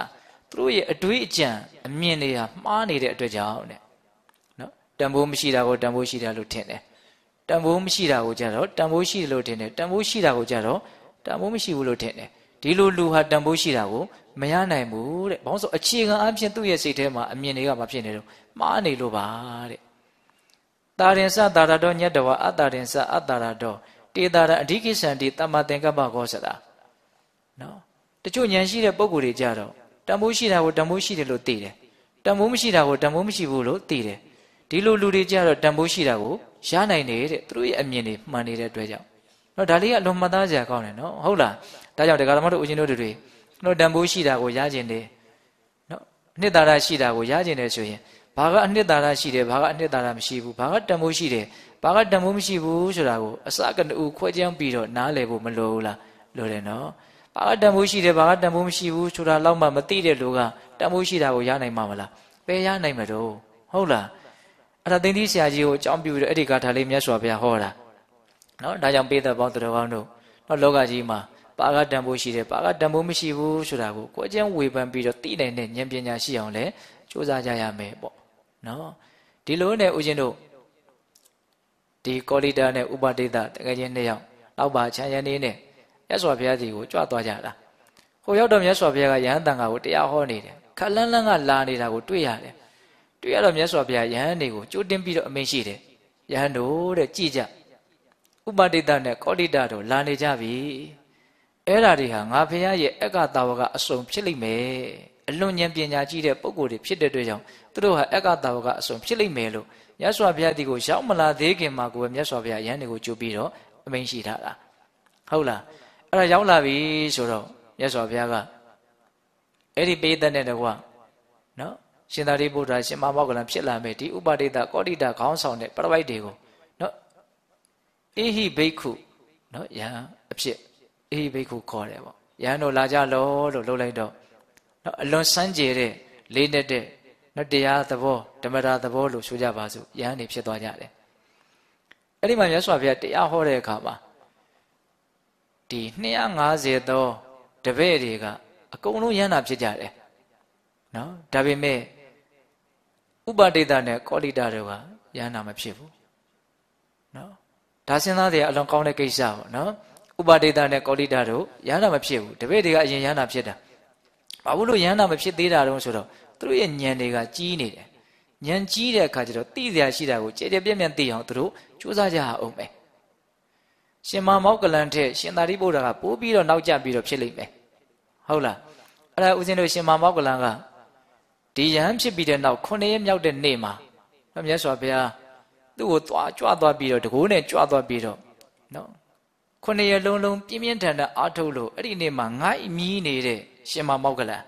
ယန္နာမဖြစ်သေးဘူးနော်အဲ့ဒီငိုင်မြီးနေတဲ့ရှင်သာရိပုတ္တရှင်မမောက်ကလန်ကိုမြတ်စွာဘုရားကအငိုင်မြီးပျောက်ကြောင်တရားသွားပြီးတော့ဟောလို့အဲ့ဒီမှာ ယန္နာဖြစ်တာအဲ့ဒါကရှင်မမောက်ကလန်အကြောင်းပြောတဲ့အခါမှာဦးဇင်းတို့ပြည့်ပြည့်စုံစုံပြောပါမယ်ဟုတ်လားရှင်သာရိပုတ္တရာဖြစ်လာမယ်အဲ့ဒီဥပဒိတကတော့15ရက်နေမှယန္နာဖြစ်တယ်ဟုတ်လားအဘလို့အဲ့လိုဖြစ်ရတာတုံးဆိုတော့နော်မင်းကွန်းဆိုတော့ဘုရားကြီးမဟာဗုဒ္ဓဝင်ကျမ်းထဲမှာနောက်မှတ်ချက်ကလေးပေးထားတာဦးဇင်းတို့အခုဒီအကြောင်းအရာတွေကိုမဟာဘုဒ္ဓဝင်ကိုအမိပြုပြီးတော့ဟောတာပါဟုတ်လားမှတ်ချက်ကဘလို့ပြုတာအောင်ဆိုတော့နော်ရှင်ဘရင်တခါတော့ပဲကြီးတလေချက်တဲ့ဟုတ်လား တာမန်လူတွေခီးသွားမယ်ဆိုရင်တော့ကောက်ကက်ပြီးတော့ခုထားသွားလိုက်လို့ရတယ်နော်ဘုံကံကြီးမားတဲ့ရှင်ဘရင်များခီးသွားမယ်ဆိုရင်တော့အဲ့လိုသွားလို့ရမလားမရဘူးနော်တက်တော်ဆောင်နေနဲ့ဘာတွေနဲ့ညာတွေနဲ့ပြင်ရမယ်ဆင်ရမယ်ဟုတ်လားအေးသူအတိုင်ပဲအဲ့ဒီမှာဦးဇင်းတို့ပြောထားတာလေးတခုမှတ်သားစရာလေးတခုပိသက်တို့ကိုပြောပြမယ်တပ်ပင်ညုမြတ်စွာဘုရားများဘုရားဖြစ်ခါနီးမှာဒီသင်္ခါရတရားတွေကိုဝိပဿနာရှုတဲ့နေရာမှာဘလောက်ထိသူတို့ကကြည်ကြပြန့်ပြန့်ရှုလဲဆိုလို့ရှိရင်တဲ့ စัจ java လာဂရေတသိမ်းမှာရှိတဲ့ရုပ်တက်နံတက်တွေကိုဝိပဿနာရှုတယ်တဲ့နော်ပြီးတော့အနေနရိယနော်ဦးဇင်းတို့ဒီဗဟိတရုပ်တရားတွေရဲ့ပုံမှာလဲဝိပဿနာရှုတယ်နော်စัจ java လာဂရေတသိမ်းတဲ့နော်ပိစိကဗုဒ္ဓအရှင်မြတ်တွေဝိပဿနာရှုပြီးတော့ပြည့်စေကဗောဓိဉာဏ်ကိုရဖို့ဝိပဿနာရှုတဲ့နေရာမှာသူတို့ကဘယ်လိုရှုတုံးဆိုတော့နော်မိမိဒီခန္ဓာရဲ့တဘာဝအပါဝင်ပေါ့နော် ဒီဇဗုဒိတ်ကျွန်းမှာရှိတဲ့တတ္တဝါတွေရဲ့အားလုံးရဲ့ပုံမှာရှိနေဖြစ်နေတဲ့ရုပ်တဏ္ဍတ်တွေရဲ့ပုံမှာဝိပဿနာရှုတယ်ဟာဒါကပြည့်စေကဗုဒ္ဓရှင်မြတ်တို့ရဲ့နော်ဉာဏ်ပညာကြီးမားပုံကိုစဉ်းစားဖို့ပြောပြတာနောက်ပြီးတော့ဦးဇင်းတို့အက္ခတာဝကမဟာတာဝကပဂရိတာဝကဆိုတဲ့တာဝကဘောဓိဉာဏ်အတွက်ပေါ့နော်အဲ့ဒါအတွက်ဦးဇင်းတို့ဝိပဿနာရှုတယ်ဆိုတော့ဘလို့ရှုတုံဆိုတော့မိမိခန္ဓာနဲ့နော်အားလုံးရဲ့သူများရဲ့ခန္ဓာကိုတော့ ဗိဓာခန္ဓာပေါ့တပေါင်းနဲ့ပြုတ်ပြီးတော့မိမိခန္ဓာသူတစ်ပါးခန္ဓာဒီနှစ်မျိုးကိုပဲသူကဘာလို့တော့ဝိပဿနာရှုတယ်အိဋ္ဌဒုက္ခအနတ္တလက္ခဏာကြီးသုံးပါးတင်တယ်ပေါ့ဒါတဝကဘောဓိဉာဏ်ရဲ့နေပယ်ပေါ့နော်တဝကဘောဓိဉာဏ်ရဖို့အတွက်ဝိပဿနာရှုရမယ်နေပယ်ပေါ့ဟုတ်လားအဲ့တော့ဒီမှာဦးဇင်းတို့ဆက်ပြီးတော့ပြောထားတာကရှင်မမောကလန်ကဝိပဿနာရှုတဲ့နေရာမှာမိမိခန္ဓာသူတစ်ပါးခန္ဓာရဲ့တဘာဝတွေကိုရှုတော့အကုန်လုံးလုံးစိပတ်စီရှုတာမဟုတ်ဘူးတဲ့လိုရင်းကြတဲ့နော် တချို့တဘာဝတရားလေးတွေရဲ့အကြောင်းကိုပဲဝိပဿနာရှုတာတဲ့ရှင်သာရိပုတ္တရာကျတော့အဲ့လိုမဟုတ်ဒီတဝကဗောဓိဉာဏ်ရဖို့အတွက်နော်ရှုရမယ့်ဝိပဿနာရှုွက်ဖြစ်တဲ့မိမိခန္ဓာသူတစ်ပါးခန္ဓာရဲ့အကြောင်းကိုရှုတဲ့နေရာမှာအကုန်လုံးလုံးစိပတ်စီအကုန်လုံးရှုတာဒါမှမဟုတ်သူကကြားနေတာတဲ့အဲ့ဒါကိုနားလေအောင်စားတဲ့ကဘလို့ဥမာပေးလဲဆိုတော့တွေ့ရပါစို့လူတယောက်တောင်ဝေးထောက်ပြီးတော့သွားတယ်နော်တောင်ဝေးထောက်မိတဲ့နေရာနဲ့တောင်ဝေးမထောက်မိတဲ့နေရာနဲ့ဘယ်ဟာကများမလို့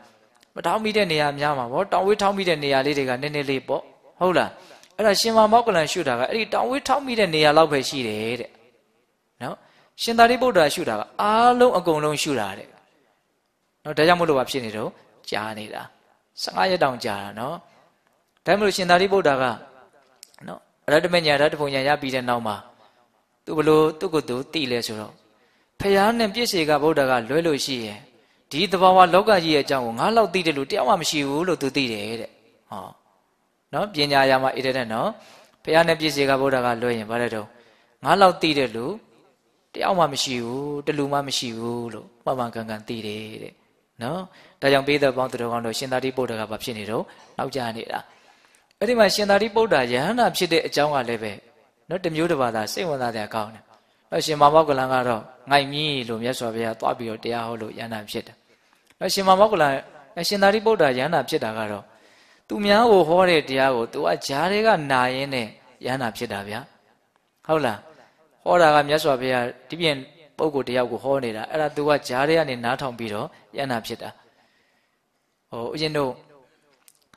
ရာဇုံမြို့နားမှာသူကရခတဆိုတဲ့ဝတ္တုလှိုင်ဆိုတာရှိတယ်နော်ဝတ္တုဒါလို့ဖြစ်နေတဲ့လှိုင်လားတော့မသိပါဘူးဝတ္တုလှိုင်တယ် နော်အဲ့ဒီထဲမှာဒီကနခပရပိုက်ဆိုတာရှိတယ်နော်လက်သေးချီလက်သေးချီခြေသေးချီထားတဲ့ပရပိုက်လို့ဆိုရပါစို့အဲ့ဒါကရှင်သာရိပုတ္တရာရဲ့တူအဲ့ဒီပရပိုက်ကအဲ့ဒီပရပိုက်ကိုဟောတာမြတ်စွာဘုရားကနော်ဒီကနခသုတ်တန်ဆိုတာရှိတယ်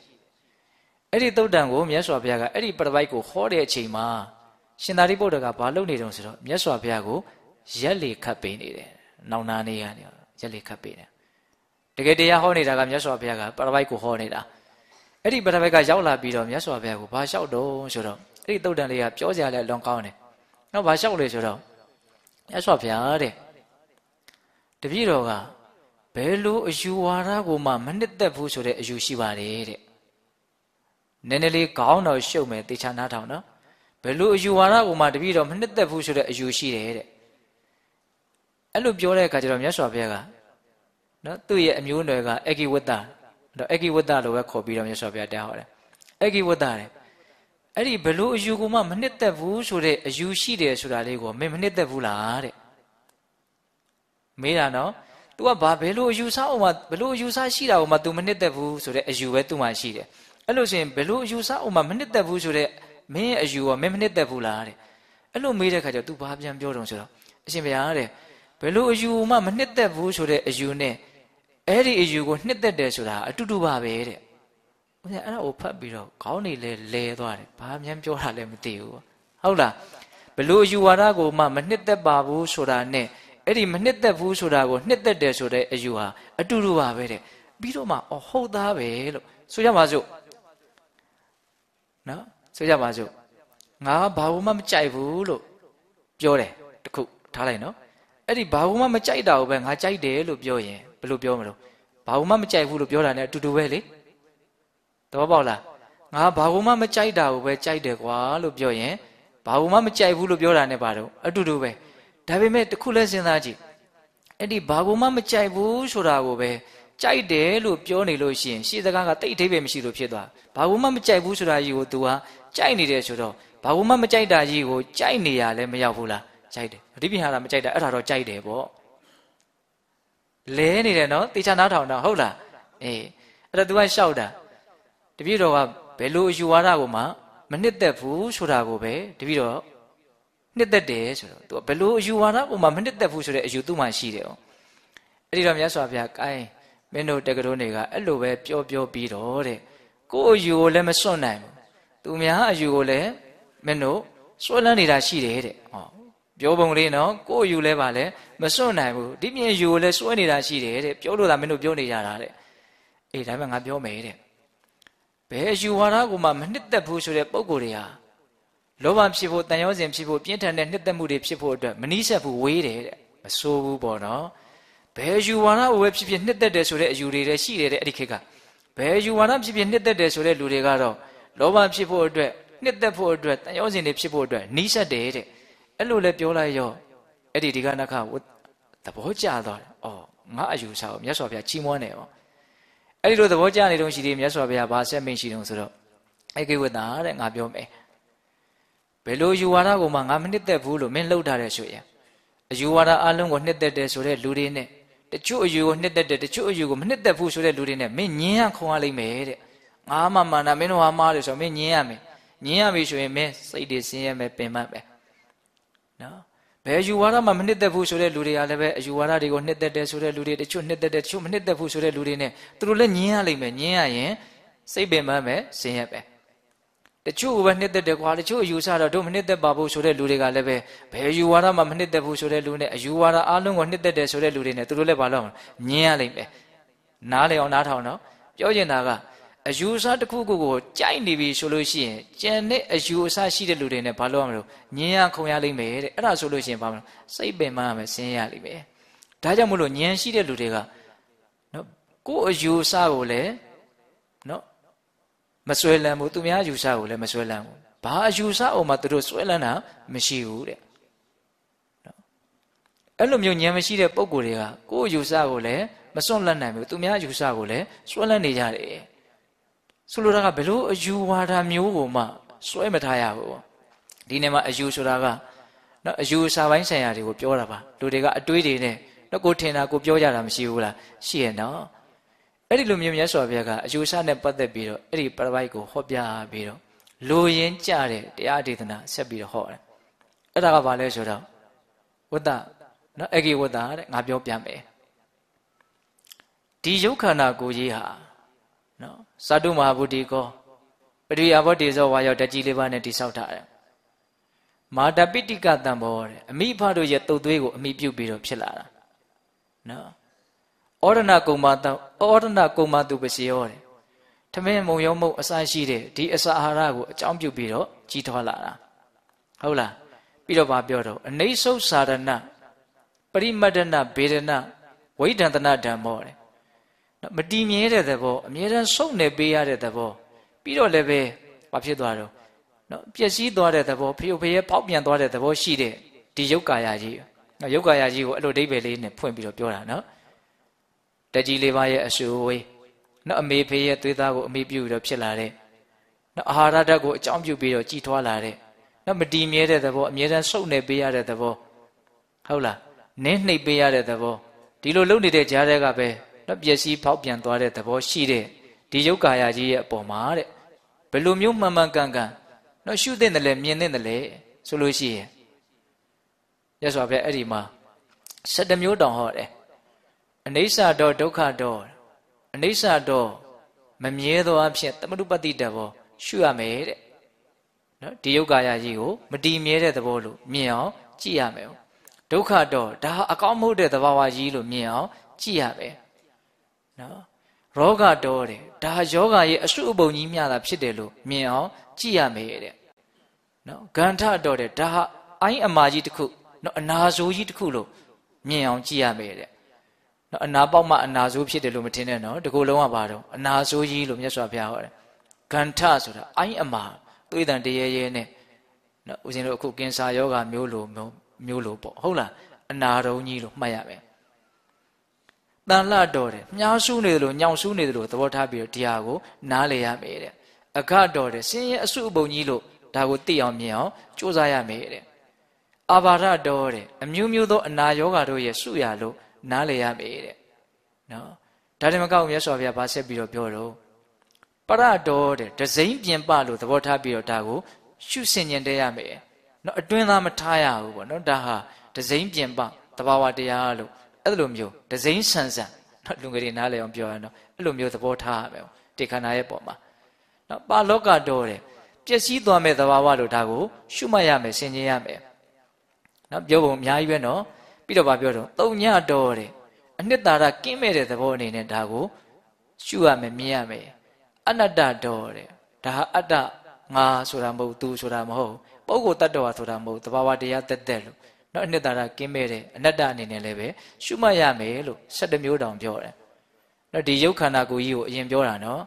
ဟုတ်လားပရိယာဝတေဇောဝါယောတကြီးလေးပါးနဲ့အခြေခံတည်ဆောက်ထားတဲ့အမေဖေရဲ့သွေးသားကိုအမိပြုတ်ပြီးတော့ဖြစ်လာတဲ့အာဟာရကိုအမိပြုတ်ပြီးတော့ကြီးထွားလာတဲ့နော်အမြဲတမ်းစုပ်နေပုတ်တက်ပြီးတော့နော်ပေးနေရပြီမယ်လို့လည်းပဲပြီးတော့လည်းပဲပေါက်ပြန်ပျက်စီးသွားတတ်တဲ့ဒီသဘာဝတရားကြီးကိုအဲ့လို7မျိုးသောနီလန်းတို့ဖြင့်မြင်အောင်ကြိုးစားရမယ်တဲ့ နေစာတော့ဒုက္ခတော့ဟုတ်လားနော်ဒါတွေကိုဒကာမတို့ဦးရှင်တို့အသေးစိတ်အကုန်လုံးမှတ်နိုင်ရင်တော့အလွန်ကောင်းမယ်ပေါ့နော်7မျိုးတောင်မြတ်စွာဘုရားဟောတာဟုတ်လားအဲ့လိုဦးရှင်တို့ရုပ်ပိုင်းဆိုင်ရာကိုရှုမှတ်ပွားများရမယ်လို့ဟောပြီးတဲ့နောက်မှာမြတ်စွာဘုရားဘာကိုထပ်ပြီးတော့ဟောတော့ဝေဒနာကိုဟောတယ်နော်စိတ်ဝင်စားစရာကောင်းတယ်လို့ဦးရှင်ကထင်တယ်နော်ဒါတရားဘာဝနာကိုစိတ်ဝင်စားတဲ့ပုဂ္ဂိုလ်တွေအတွက်ပိုစိတ်ဝင်စားတဲ့ကောင်းတယ် ရှင်သာရိပုတ္တရာယန္တာဖြစ်တဲ့တုတ်တန်ဆိုတော့စိတ်ထဲမှာအမှတ်တင်နေလေးမှတ်စေခြင်းတယ်ပေါ့နော်ဝေဒနာတွေကိုမြတ်စွာဘုရားဘယ်လိုဟောတော့ဆိုတော့အလွန်ရိုးရိုးရှင်းရှင်းဟောတယ်အဲ့ဒီတုတ်တန်မှာအဂိဝတ္တာတဲ့ခံစားမှုဝေဒနာဟာ၃မျိုးရှိတယ်တဲ့ဒုက္ခရဲ့ဒုက္ခရဲ့အဒုက္ခမဒုက္ခရဲ့ဒုက္ခဆိုတာချမ်းသာတဲ့သဘောဒုက္ခဆိုတာဆင်းရဲတဲ့သဘောအဒုက္ခမဒုက္ခဆိုတာချမ်းသာတာလည်းမဟုတ်ဆင်းရဲတာလည်းမဟုတ်ချမ်းသာတယ်လို့လည်းမထင်ရှားဘူးဆင်းရဲတယ်လို့လည်းမထင်ရှားဘူးဝေဒနာဘယ်နှမျိုးတော့ သုံးမျိုးဒုက္ခရဲ့ဒုက္ခရဲ့အဒုက္ခမဒုက္ခအဲ့ဒါကိုဒီဝေဒနာခံစားမှုတို့ရဲ့အနေဆသဘာဝကိုပုံပေါ်မြတ်စွာဘုရားဘယ်လိုရှင်းပြလဲဆိုတော့အဂိဝတ္တာတဲ့ဒုက္ခဝေဒနာကိုခံစားနေတဲ့အချိန်မှာဒုက္ခဝေဒနာမရှိဘူးတဲ့အဒုက္ခမဒုက္ခဝေဒနာလည်းမရှိဘူးတဲ့တေချာနားထောင်နော်ဒုက္ခဝေဒနာခံစားနေတဲ့အချိန်မှာဒုက္ခလည်းမရှိဘူးအဒုက္ခမဒုက္ခလည်းမရှိဘူးဒုက္ခဒီတက်တက်ကိုပဲခံစားနေတာတဲ့တခါဒုက္ခဝေဒနာကိုခံစားနေတဲ့အချိန်မှာဒုက္ခဝေဒနာမရှိဘူး အဒုက္ခမဒုက္ခဝေဒနာမရှိဘူးဒုက္ခဝေဒနာတက်တက်ကိုပဲခံစားနေတာအဒုက္ခမဒုက္ခဝေဒနာကိုခံစားတဲ့အချိန်မှာလည်းပဲဒုက္ခဝေဒနာမရှိဘူးဒုက္ခဝေဒနာမရှိဘူးအဒုက္ခမဒုက္ခကိုပဲခံစားနေတာဘာလဲဆိုတော့အဲ့ဒီအချက်ကိုပဲပဲနေနေစဉ်းစားလို့ရှိရင်ဘယ်ခံစားမှုမှတည်မြဲနေတာမဟုတ်ဘူးဆိုတာကိုမသိနိုင်ဘူးလားသိနိုင်တယ်နော်နော်ဝေဒနာတစ်မျိုးခံစားနေတယ်မှာကျန်တဲ့ဝေဒနာရှိသလားမရှိဘူးနော်ဒါကြောင့်ဆင်းရဲနေတဲ့အချိန်မှာချမ်းသာတာမရှိဘူး ချမ်းသာနေတဲ့အချိန်မှာလည်းဆင်းရဲတာမရှိဘူးချမ်းသာတယ်လည်းမဟုတ်ဘူးဆင်းရဲတာလည်းမဟုတ်ဘူးဒီတိုင်းပဲပဲချမ်းသာဆင်းရဲခြင်းမှမထင်ရှားဘူးဆိုတဲ့နော်သိဖို့တောင်အလွန်ခက်တဲ့နော်ဒီလိုအဒုက္ခမဒုက္ခဝေဒနာမျိုးဖြစ်နေတဲ့အချိန်မှာလည်းပဲချမ်းသာခြင်းလည်းမရှိဘူးဆင်းရဲခြင်းလည်းမရှိဘူးဒါကြောင့်ဘယ်ဟာတည်မြဲနေတယ်လို့မရင်ဘယ်ဟာမှမတည်မြဲဘူးနားလည်ဖို့လိုတယ်ဟုတ်လားဝေဒနာတို့ရဲ့မတည်မြဲပုံကိုမြတ်စွာဘုရားအဲ့လိုရိုးရိုးလေးပြောတာနော်အဲ့လိုပြောပြီးတော့မြတ်စွာဘုရားဝေဒနာကိုဘလို့အတိပ္ပယ်ဖွင့်ပြတော့ ဘဘလို့မှန်မှန်ကန်ကန်သိအောင်လုပ်ရမလို့ဆိုတာကိုဆက်ပြီးတော့အမိန့်ရှိတာနော်ဒုက္ခဝေဒနာပဲဖြစ်ဖြစ်ဒုက္ခဝေဒနာပဲဖြစ်ဖြစ်အဒုက္ခမဒုက္ခဝေဒနာပဲဖြစ်ဖြစ်အနိစ္စသင်္ခတပရိစ္ဆသမုပ္ပန္နာခယဓမ္မဝေယဓမ္မဝိရာဂဓမ္မនិရောဓဓမ္မတဲ့နော်ဘယ်နှလုံးရှိသွားတော့သိချာမှတ်မယ်နော်အနိစ္စသင်္ခတနော်ပရိစ္ဆသမုပ္ပန္နာခယဓမ္မဝေယဓမ္မဝိရာဂဓမ္မនិရောဓဓမ္မခုနှစ်မျိုးဟောရတယ်နော်နော်အနိစ္စဆိုတာဘာတော့ မတည်မြဲဘူးအနိစ္စမတည်မြဲတဲ့သဘောဟုတ်လားပြီးတော့ဗာပြောတော့သင်္ခတတဲ့ပြုပြင်အပ်တဲ့သဘောတဲ့နော်အကုန်လုံးအကြောင်းတရားတွေစုံလာမှဖြစ်လာတဲ့သဘောလေးသူ့စွမ်းနဲ့သူဖြစ်လာတာမဟုတ်ဘူးဟုတ်လားနော်ပြုပြင်ထားတဲ့သဘောလေးပြုပြင်အပ်တဲ့သဘောလို့အဲ့လိုလေးတော့ဘာသာပြန်တယ်ပေါ့ပြုပြင်အပ်တယ်ပရိစ္ဆသမုပ္ပန္နာဆိုတာအဲ့ဒါကျတော့ပိုရှင်းသွားတယ်ဖြစ်เสียအကြောင်းတစ်ခုကိုဆွဲပြီးတော့ဖြစ်လာတာတဲ့ ဘာကိုဆွဲပြီးတော့ဖြစ်တုံးဆိုတော့အနိကဆုံးကြုံပြောရရင်တော့ဖတ်တာပေါ့နော်ဆိုကြပါစို့ခံစားမှုတွေဆိုတာကမျက်စိရဲ့အစင်းရဲ့တွေ့ကြတဲ့အခါမှာဉာဏ်သိစိတ်ဆိုတာဖြစ်တယ်နော်အဲ့ဒီမျက်စိရဲ့အစင်းရဲ့ဉာဏ်သိစိတ်ရဲ့ဒီသုံးခုရဲ့ပေါင်းကိုဘာလို့ခေါ်တော့ဖတ်တာလို့ခေါ်တယ်နော်အဲ့ဒီဖတ်တာကြောင့်ချမ်းသာတယ်ဆင်းရဲတယ်သို့မဟုတ်ချမ်းသာခြင်းဆင်းရဲခြင်းမထင်ရှားဘူးဆိုတဲ့ဒီဝေဒနာတွေကဖြစ်လာတာအဲ့လိုပဲနားရဲ့အတန်ရဲ့ကြားသိစိတ်ရဲ့ဒီသုံးခုပေါင်းစုံတာကိုဘာခေါ်တော့ဖတ်တာအဲ့ဒီဖတ်တာကြောင့်ပဲ ချမ်းသာခြင်းဆင်းရဲခြင်းဆိုတာတွေဖြစ်လာတာတေချာစဉ်းစားနော်ဝေဒနာတွေဖြစ်ပွားပုံအနေအထားမြင်ရကလည်းတဆင်ဖြစ်လာတယ်ကြားရကလည်းတဆင်ဖြစ်လာတယ်အကြံဉာဏ်ပြောရရင်ဟုတ်လားအနက်နေရကနေတဆင်ဖြစ်လာတယ်အရာသာတွေစားတော့ကနေတဆင်ဝေဒနာတွေဖြစ်တယ်အတွေ့အထိတွေကနေတဆင်ဖြစ်တယ်အတွေ့အကြံတွေကနေတဆင်ဖြစ်လာတယ်ပရိစ္ဆသမုပ္ပန္နာဆိုအဲ့ဒါကိုပြောတာအကြောင်းတရားကိုဆွဲပြီးတော့ဖြစ်ပေါ်လာတာနော်အမြဲတည်ရှိနေတာမဟုတ်ဘူးအာဂန္တုသဘောပေါ့ဧည့်သည်သဘောပေါ့နော် ဒါကိုပြောတော့ပရိစ္ဆသမုပ္ပန္နာအဲ့ဒီလိုဖြစ်လာတဲ့သဘာဝတရားတွေဟာဝရဓမ္မနော်ခရဓမ္မကုန်ခန်းတက်တဲ့သဘောရှိတယ်ဝရဓမ္မပျက်စီးတတ်တဲ့သဘောရှိတယ်တဲ့ဒါကြောင့်မို့လို့ဒီဝေဒနာတရားတွေဟာဝိဒါကဓမ္မမနှစ်သက်မဆွဲလန်းအပ်သောသဘာဝတရားများသာဖြစ်တယ်တဲ့နော်လူချင်းစရာကောင်းတဲ့သဘောတွေမဟုတ်ပါဘူးဆိုတဲ့အတိပ္ပယ်ကိုနားလည်ရမှာနော်ဝိရာဂဓမ္မနော်နှစ်သက်စရာမဟုတ်တဲ့သဘာဝတရားတွေတဲ့ဘာဘူးလို့တော့ပျက်စီးသွားလို့ ဟုတ်လားဘာဘူးလို့တော့ပျက်စီးသွားလို့နှစ်သက်စရာကောင်းတဲ့တရားတွေမဟုတ်ဘူးတဲ့និရောဓဓမ္မချုပ်ပြောက်သွားတဲ့သဘာဝတရားတွေသာဖြစ်တယ်လို့အဲဒါလို့မှန်မှန်ကန်ကန်သိရမယ်မြင်ရမယ်တဲ့လူရင်းကိုမြတ်စွာဘုရားဟောတာနော်အဲ့လိုသိရမြင်မှများလို့ရှိရင်အဲ့ဒီပုဂ္ဂိုလ်ဟာဒီဝေဒနာတွေရဲ့ပုံမှာညင်ငွေမှုဆိုတာဖြစ်လာတယ်နော်ဆွဲမဲ့မှုကင်းမှုဆိုတာဖြစ်လာတယ်လွတ်မြောက်မှုဆိုတာဖြစ်လာတယ်ဒါအနှစ်ချုပ်လေးပြောတာပါအဲ့လိုဆိုလို့ရှိရင်ဒီပုဂ္ဂိုလ်ဟာနော် ဘာဖြစ်သွားတော့ဆိုတော့အာသောကုန်ခံယန္တာဖြစ်တယ်လို့ဆိုကြပါစို့ဟုတ်လားအဲ့လိုယန္တာဖြစ်သွားပြီဆိုလို့ရှိရင်အဲ့ဒီပုဂ္ဂိုလ်ဟာဘယ်သူနဲ့မှညင်းခုန်တယ်ဆိုတာမရှိဘူးတဲ့လောကရဲ့ပြောရိုးပြောစဉ်အရာမို့သာပြောနေတာဘာကိုမှအမှားအဖြစ်သုံးတတ်တာလည်းမရှိဘူးတဲ့ဟောဒါလေးကအလွန်မှတ်စရာခေါင်းတဲ့စကားလုံးနော်ပြောရိုးပြောစဉ်မို့ပြောတော့ပြောနေတယ်ဒါပေမဲ့သူ့ရဲ့စိတ်ထဲမှာမှားယွင်းတဲ့သုံးသပ်မှုမရှိပါဘူးတဲ့ဆရာတို့ရဟန္တာရှင်မြတ်တွေလည်းပဲအေး ငါစီလာခဲ့ဟိုလူကဘယ်သွားမှလဲအစရှိတဲ့ပုဂ္ဂိုလ်တ attva အနေထားမျိုးတွေနဲ့ပြောတာတော့မရှိဘူးလားရှိတယ်ဒါပေမဲ့သူတို့မှာမှားယွင်းတဲ့သုံးသက်ချက်မရှိဘူးဒါပုဂ္ဂိုလ်တ attva ဒါငါဒါသူဆိုတဲ့မှားယွင်းတဲ့သုံးသက်ချက်ဒါကသောတာပန်ပုဂ္ဂိုလ်တောင်မရှိပါဘူးဟုတ်လားအဲ့တော့ယန္တာဖြစ်သွားပြီဆိုရင်ဘယ်သူနဲ့မှညင်းခုန်တယ်ဆိုတာမရှိဘူးနော်သူသူပြောတာတွေတော့ပြောတာရှိတယ်ဒါပေမဲ့မှားယွင်းတဲ့သုံးသက်မှုသူမှမရှိဘူးအဲ့ဒီလိုမျိုးမြတ်စွာဘုရားဟောတဲ့အခါကျတော့ အဲ့ဒီဒီကနခပရပိုက်ကသောတာပန်ဖြစ်သွားတယ်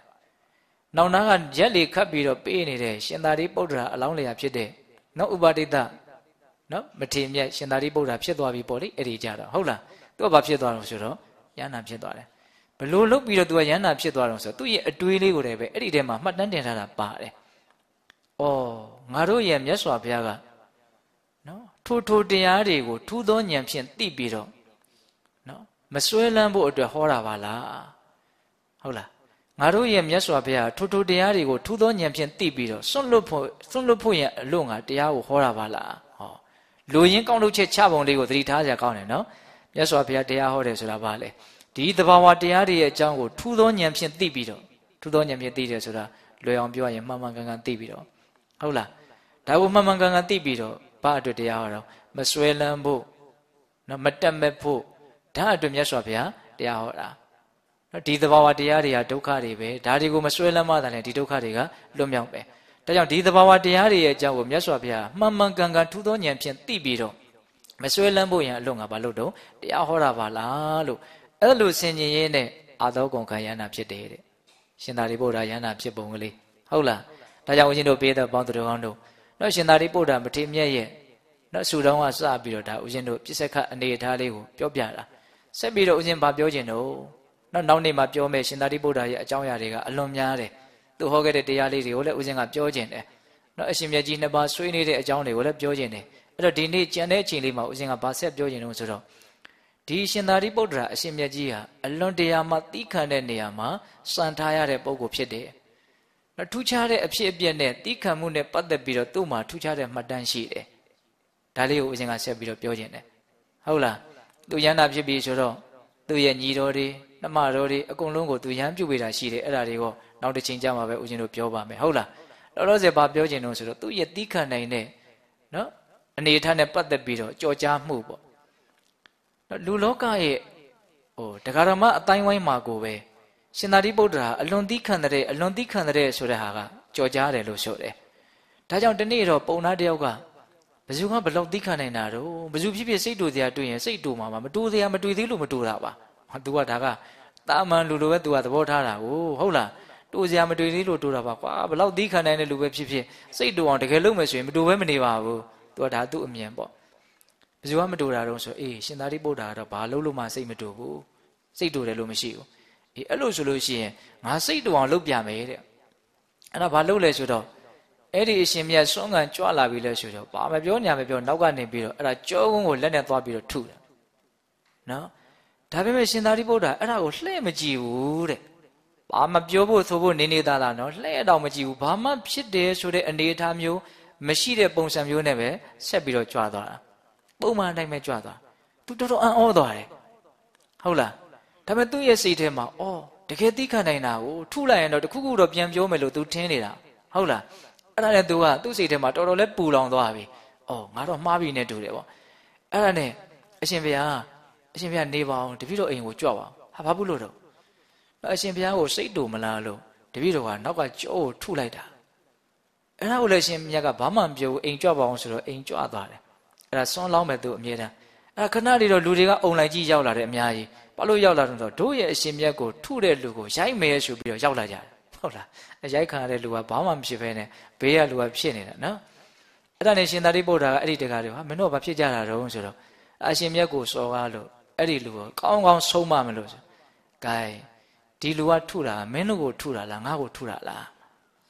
မေးတာတော့ရိုးရိုးပါပဲဟုတ်လားမင်းတို့ကိုထုလာလားငါ့ကိုထုတာအရှင်ဘုရားကိုထုတာပါဆိုအဲထုခါတဲ့ငါကဘာမှမဖြစ်ဘဲနဲ့မင်းတို့ကဘာလို့ဖြစ်နေတာတော့အဲ့တော့သွားကြပါဆိုပြီးတော့နော်တောင်းပန်ပြီးတော့လှော့ရတယ် ဒါရှင်သာရိပုတ္တရာရဲ့တိခံမှုမှာကြော်ကြားတဲ့အပိုင်းလေးဒါကျမ်းဂန်ထဲမှာမှတ်တမ်းတင်ထားအောင်နောက်ထပ်ဦးဇင်းတို့ဒီမဟာပရိမြေကြီးတုံလှုပ်ရလောက်အောင်သူ့ရဲ့တိခံနိုင်စွာအဲ့ဒါကိုမှတ်တမ်းတင်ထားတာတခုရှိတယ်အဲ့ဒါကတော့ဦးဇင်းတို့တော့လွန်ခဲ့တဲ့ခုနှစ်နှစ်ရှင်းနှစ်လောက်တုန်းက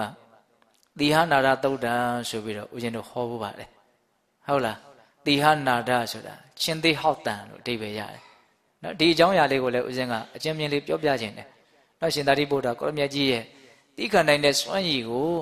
တရားတော်တို့ဦးဇင်းတို့တွေနော်ကြည်ညိုစေရနော်စိတ်ထဲကအားကြစေရဒီလိုမျိုးမှန်မှန်ကန်ကန်သိမြင်မှုနဲ့ကြည်ညိုကြမယ်အားကြကြမယ်ဆိုရင်လည်းပဲအများကြီးကုသိုလ်ကောင်းမှုတိုးတယ်မရှိဘူးလားရှိရဲ့နော်အဲ့တော့ဒါကဘာပြောထားတော့ဆိုတော့နော်အခါတစ်ပါးမှာနော်ရှင်သာရိပုတ္တရာကတည်င်းဝါလာကျွတ်လို့နော်ဒေသစာတွေလှည့်လည်မယ်ဆိုတော့သူ့ရဲ့ နော်အချမ်းရနေနဲ့မြတ်စွာဘုရားကိုရှ िख ိုးဥချပြီးတော့နှုတ်ဆက်ပြီးတော့သူခီးထွက်တာအဲ့လိုခီးထွက်တော့အများကြီးလိုက်ပို့ကြတဲ့ယဟန်တွေရှိတယ်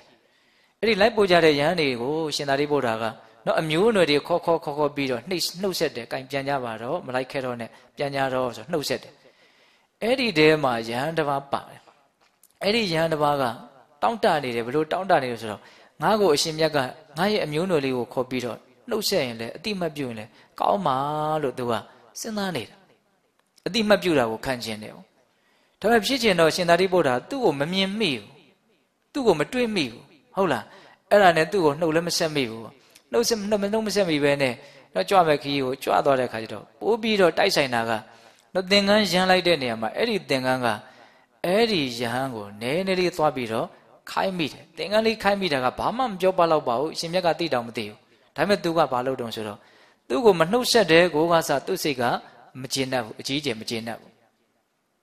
အတိမပြုခံကျင်တဲ့စိတ်ကလည်းအလွန်ခက်တယ်လို့ပြောရမယ်နော်ဟုတ်လားအဲ့ဒါဦးဇင်းတို့မနေ့ပြန်မှပြောမဲ့တရားထဲမှာဒီအကြောင်းအရာတွေလည်းပါလိုက်ဦးမယ်ဟုတ်လားအဲ့ဒါ तू ကအကျင့်တတ်တာကိုအခြေခံပြီးတော့သူ့ကိုသင်္ကန်းနဲ့ထိသွားတာကိုဒါအရှင်မြတ်ကိုနော်စော်ကားဖို့အတွက်သူ့မှာခိုင်လုံတဲ့အကြောင်းပြချက်ရတယ်။ဘာလို့တုံဆိုတော့အဲ့ဒါမြတ်စွာဘုရားဒီကိုသွားပြီးတော့ မြတ်စွာဘုရားရှင်သာရိပုတ္တရာကိုရောမြတ်ကငါဟာအက္ခတာဝကဖြစ်တယ်ဆိုတဲ့သဘောမျိုးနဲ့တပည့်တော်ရဲ့နဗန်းကိုပွင့်မတက်ဟုတ်လားသင်္ကန်းနဲ့ရိုက်ပုတ်ပြီးတော့ထွက်သွားတာတောင်းမှန်ကောင်းမှမသိဘူးအဲ့လိုသွားလျှောက်တာလျှောက်တာမြတ်စွာဘုရားကသိတော်မူတယ်ဩဒီအကြောင်းအရာကိုအကြောင်းပြုပြီးတော့တာရိပုတ္တရာချင်းသေးဟောက်တဲ့ကဲ့သို့ရဲရဲတောက်နော်ချင်းသေးမွတ်တဲ့ချင်းသေးဟောက်တဲ့စကားတန်တွေပြောလိုက်မယ်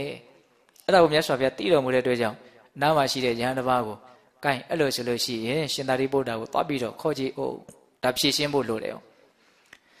အဲ့ဒီမှာဦးဇင်းတို့ရှင်အာနန္ဒာနဲ့ရှင်မမောကလန်ကမြတ်စွာဘုရားဟာရှင်သာရိပုတ္တရာဒီလိုမလုပ်ဘူးဆိုတာကိုသိတယ်သိရနဲ့ခေါ်ခိုင်းတာဟာအကြောင်းလို့ရှိတယ်ဒါပါလေဆိုတော့ရှင်သာရိပုတ္တရာရဲ့ရေရဲတောက်တရားစကားသံကိုမြတ်စွာဘုရား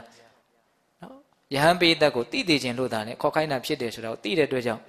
ကြောင်ကြောင်တကားတော့တွေကိုအကုန်ယူပြီးတော့အကုန်လုံးလိုက်ပြီးတော့နှိုးစော်တယ်အရှင်တို့ထွက်ကြ ဒီနေ့သာရိပုတ္တရာနော်ချင်းသေးဟောက်တဲ့စကားသံကိုရဲရဲတောက်နော်မျက်ရှုလိုက်မယ်အဲ့ဒီမှာယဟန်ပိသက်တွေအများကြီးစုမိသွားတယ်ဆိုတော့ကရှင်သာရိပုတ္တရာကိုဆွဆွဲတဲ့ယဟန်လည်းမြတ်စွာဘုရားနာမှာရှိတယ်အဲ့ဒါခဏနေတော့ရှင်သာရိပုတ္တရာရောက်လာတယ်လျှောက်လာပြီးတော့ရှင်ဘုရားဘာလို့ခေါ်ရတာတော့ဆိုတော့လျှောက်တဲ့မြတ်စွာဘုရားကတာရိပုတ္တရာသင်ဟာဟောဒီယဟန်ကိုနော်သင်္ကန်းနဲ့နဗန်းကိုနော်ပုတ်ခတ်ပြီးတော့ထွက်သွားတယ်ဆိုတာဟုတ်သလား အဲ့လိုမေးတဲ့အခါကျတော့ရှင်သာရိပုတ္တရာကဟုတ်တယ်လည်းမလျှောက်ဘူးမဟုတ်ဘူးလည်းမလျှောက်သူ့ရဲ့ဂုံအည်သွေးကိုပဲအဲ့ဒီမှာလျှောက်ပြတယ်တဲ့သူဟာအဲ့ဒီလိုအမျိုးအစားမဟုတ်ပါဘူးဆိုတာကိုနော်ပေါ်လွင်အောင်ပြောပြတဲ့သဘောအဲ့ဒီလိုပြောတဲ့နေရာမှာဦးဇင်းတို့စကားကိုးခွန်းပေါ့နော်ဥပမာကိုးချက်ပေးပြီးတော့ပြောတာနောက်တချို့ဥပမာတွေဆိုလို့ရှိရင်နော်ပုထုဇဉ်ယဟန်တွေအတွက်မြဲရည်တောင်ကြားတယ်လို့ဆိုတယ်တဲ့နော်အဲ့ဒီတုတ်တန်ရဲ့အဖွဲမှာ နော်ဥဒီဥမာကိုးချက်ကိုပြောပြီးတိုင်းပြောပြီးတိုင်းတစ်ချက်ပြောပြီးတိုင်းနော်မြေကြီးတစ်ခါတုံလို့တယ်လို့ဆိုတယ်တဲ့နော်သူပြောတဲ့ဥမာတွေကဘာတွေတုံးဆိုတော့အရှင်ဗျာတဲ့ဟောဒီမြေကြီးပေါ်ကိုလူတွေကစင်ကြယ်တာတွေကိုလည်းပြစ်ချတယ်မစင်ကြယ်တာတွေကိုလည်းပြစ်ချတယ်ကျင်ကြီးကျင်ငယ်လေးပြစ်ချတယ်နှက်တွေဘာတွေလည်းပြစ်ချတယ်တခါတလေပန်းတွေဘာတွေလည်းပဲမုံမုံမြက်မြက်ဒါတွေလည်းပြစ်ချခြင်းပြစ်ချတာဘယ်လိုအရာတွေပဲကြလာကြလာဒီမြေကြီးဟာတုံလှုပ်တဲ့သဘောရှက်နိုးတဲ့သဘောဆက်ဆုပ်တဲ့သဘော ဘာမှမရှိဘူးတဲ့အဲ့ဒီလိုပဲတပည့်တော်ဟာပထဝီသမေနစိတ်ဒေနာမြေကြီးနဲ့တူတဲ့စိတ်နဲ့တပည့်တော်နေပါတယ်တဲ့တတ္တဝါအားလုံးရဲ့ပုံမှာနော်အတိုင်းဒါပမာဏပြလို့မရတဲ့အကျိုးလိုလာတဲ့စိတ်နဲ့တပည့်တော်နေပါတယ်တဲ့မိမိရဲ့ရုပ်ကာယရဲ့ပုံမှာဒီကာယရဲ့သဘောကိုမှန်မှန်ကန်ကန်သိမြင်ပြီးတော့မနေကြတဲ့ပုဂ္ဂိုလ်တို့ဒီသားနဲ့သူတစ်ပါးကိုစော်ကားပြီးတော့မတောင်းမှမဲထွက်သွားနိုင်မှာပါ တပည့်တော်ကတော့ဒီကာယကတာတတိကိုလည်းပဲစွတ်သွဲမြင့်မြတ်ထင်နေတဲ့အတွက်ကြောင့်ပြမပြီးတော့မတောင်းမှနဲ့ထွက်သွားတယ်ဆိုတာဘယ်လိုမှအကြောင်းမရှိဘူးဆိုတဲ့သဘောမျိုးပြောပြတာအဲ့ဒါနံပါတ်1ပြောတဲ့ဥမာကအဲ့ဒါပဲသူဟာမြေကြီးနဲ့တူတဲ့စိတ်နဲ့နေပါတယ်တဲ့ဒါလေးကဒါဓမ္မတို့ဦးဇင်းတို့နော်ယံဖာယံခါလောကရန်တရားတွေနဲ့တွေ့လာတဲ့အခါမှာအမှတ်ရမိမယ်ဆိုလို့ရှိရင်ဩသူတော်ကောင်းတို့ရဲ့လမ်းစဉ်ကဒီတိုင်းရှိတာပါလားလို့တွေးမိရင်ကိုယ်လည်းပဲသိခံနိုင်ဖို့အတွက် ဒီအကြောင်းအရာလေးကအထောက်အကူတော့မပြုတ်နိုင်ဘူးလားပြုတ်နိုင်တယ်နော်နောက်ဒုတိယပြောတဲ့စကားကဘာတော့မှတ်သားလွယ်အောင်ပဲဦးဇင်းတို့ပြောပါမယ်ဟုတ်လားမြေရေမီးလေလေးခုစက်တိုက်ပြောမယ်နော်ရေကိုဆေးတဲ့အခါမှာစင်ကြယ်တာကိုဆေးတာလည်းရှိတယ်မစင်ကြယ်တာကိုဆေးတာလည်းရှိတယ်ဟုတ်တာပေါ့တခါတလေတနခါတွေပါလိမ့်ပြီးတော့စင်စင်ကြယ်ကြယ်လေးတွေဆေးချလိုက်တာပဲမဟုတ်လားတခါလေလေနော်ကျင်ကြီးအိမ်ထဲမှာနော်အညစ်အကြေးကိုဆေးချလိုက်တာလည်းမရှိဘူးလားရှိရနော်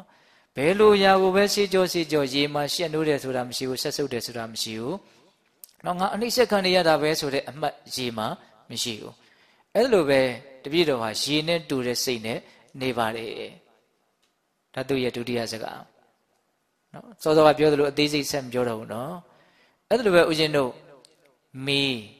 မီးဟာစင်ကြယ်တာကိုရှုရင်လည်းလောင်းမယ်မစင်ကြယ်တာကိုရှုရင်လည်းလောင်းမယ်ဘာမှရွေးချယ်မှုမရှိဘူးသူလည်းပြစ်ချလိုက်တာမှန်သမျှသူအကုန် လောင်းကျွမ်းပြလိုက်မှာပဲသူမှဒီမစင်ကြယ်တာတွေကိုရောင်းအားလို့ရွှန်ရှာဆက်ဆုပ်တယ်ဆိုတာမရှိဘူးအဲ့လိုပဲတေသောတမေနနော်မီးနဲ့တူတဲ့စိတ်နဲ့သူနေပါတယ်အားလုံးရဲ့ပုံမှာသီးခံထားရတယ်ပေါ့ဘာမှထူးခြားမှုမရှိဘူးကောင်းတာလုပ်လို့လည်းပဲစိတ်ထဲမှာတက်ကြွတယ်မရှိဘူးမကောင်းတာလုပ်လို့လည်းပဲစိတ်ထဲမှာနော်ခရခက်တယ်ဆိုတာမရှိဘူးနော်တရားဓမ္မတို့ဦးဇင်းတို့ရဲ့ဘဝကနော်ဒီအနေအထားမျိုးနဲ့လှမ်းပြီးတော့ရှင်းမဲ့ဆိုရင်အလွန်ဝေးကွာတာကိုမတွေ့ရဘူးလားကောင်းတာနဲ့တွေ့တော့လည်းပဲ ကျင့်တတ်မှုနဲ့အယံတုံလို့ရတယ်ဒါလည်းပင်ပန်းဆင်းရဲခြင်းပဲတကယ်တကယ်ကဟုတ်လားမကောင်းတာနဲ့တွေ့တော့လည်းပဲမကျင့်တတ်မှုနဲ့တုံလှုပ်ရတယ်နော်ကျင့်တတ်မှုနဲ့တုံလှုပ်ရတာနဲ့မကျင့်တတ်မှုနဲ့တုံလှုပ်ရတာနဲ့တော့ညီညီမျှမျှထားနိုင်တယ်လို့ကိုမရှိရအောင်အာယုန်နေနဲ့တွေ့တိုင်းတွေ့တိုင်းဟိုဘက်မလှုပ်ဒီဘက်လှုပ်ဒီဘက်မလှုပ်ဟိုဘက်လှုပ်တနည်းနည်းနဲ့တော့ဘာဖြစ်နေတော့လှုပ်နေတယ်ဟုတ်တယ်မဟုတ်လားဒီအရှင်မြတ်ကြီးတွေကြတော့လှုပ်တယ်ဆိုတာမရှိဘူးဒီတိုင်းဒီတိုင်းပဲဒါကိုတာတိကုံလို့လည်းပဲခေါ်တယ်ပေါ့ နော်ပြီးတော့ကပြောတော့လေတဲ့လေဟာစင်ကြယ်တာကိုလည်းတိုက်တယ်မစင်ကြယ်တာကိုလည်းတိုက်တယ်ဘာလို့ပဲတိုက်ရလို့မှလေမှာရှက်နိုးတဲ့သဘောဆက်ဆုပ်တဲ့သဘောအနှိမ့်ဆက်ခံရတယ်ဆိုတဲ့သဘောကြီးမှာလေမှာမရှိဘူးအဲ့လိုပဲလေနဲ့တူတဲ့စိတ်နဲ့တပည့်တော်နေပါတယ်တဲ့ဒါတကြီးလေးပါဥမာပေးရနော်ဟုတ်လား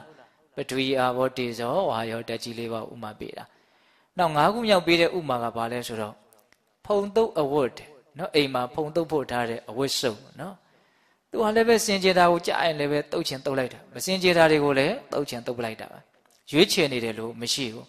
နော်ဒီအဝတ်စုပ်ကိုဘယ်သူမှငဲ့နေတယ်လို့လည်းမရှိဘူးတုတ်ချင်တာကိုတုတ်ပဲဟုတ်လားဘာကိုတုတ်တော့မှဒီဖုံတုတ်တဲ့အဝတ်က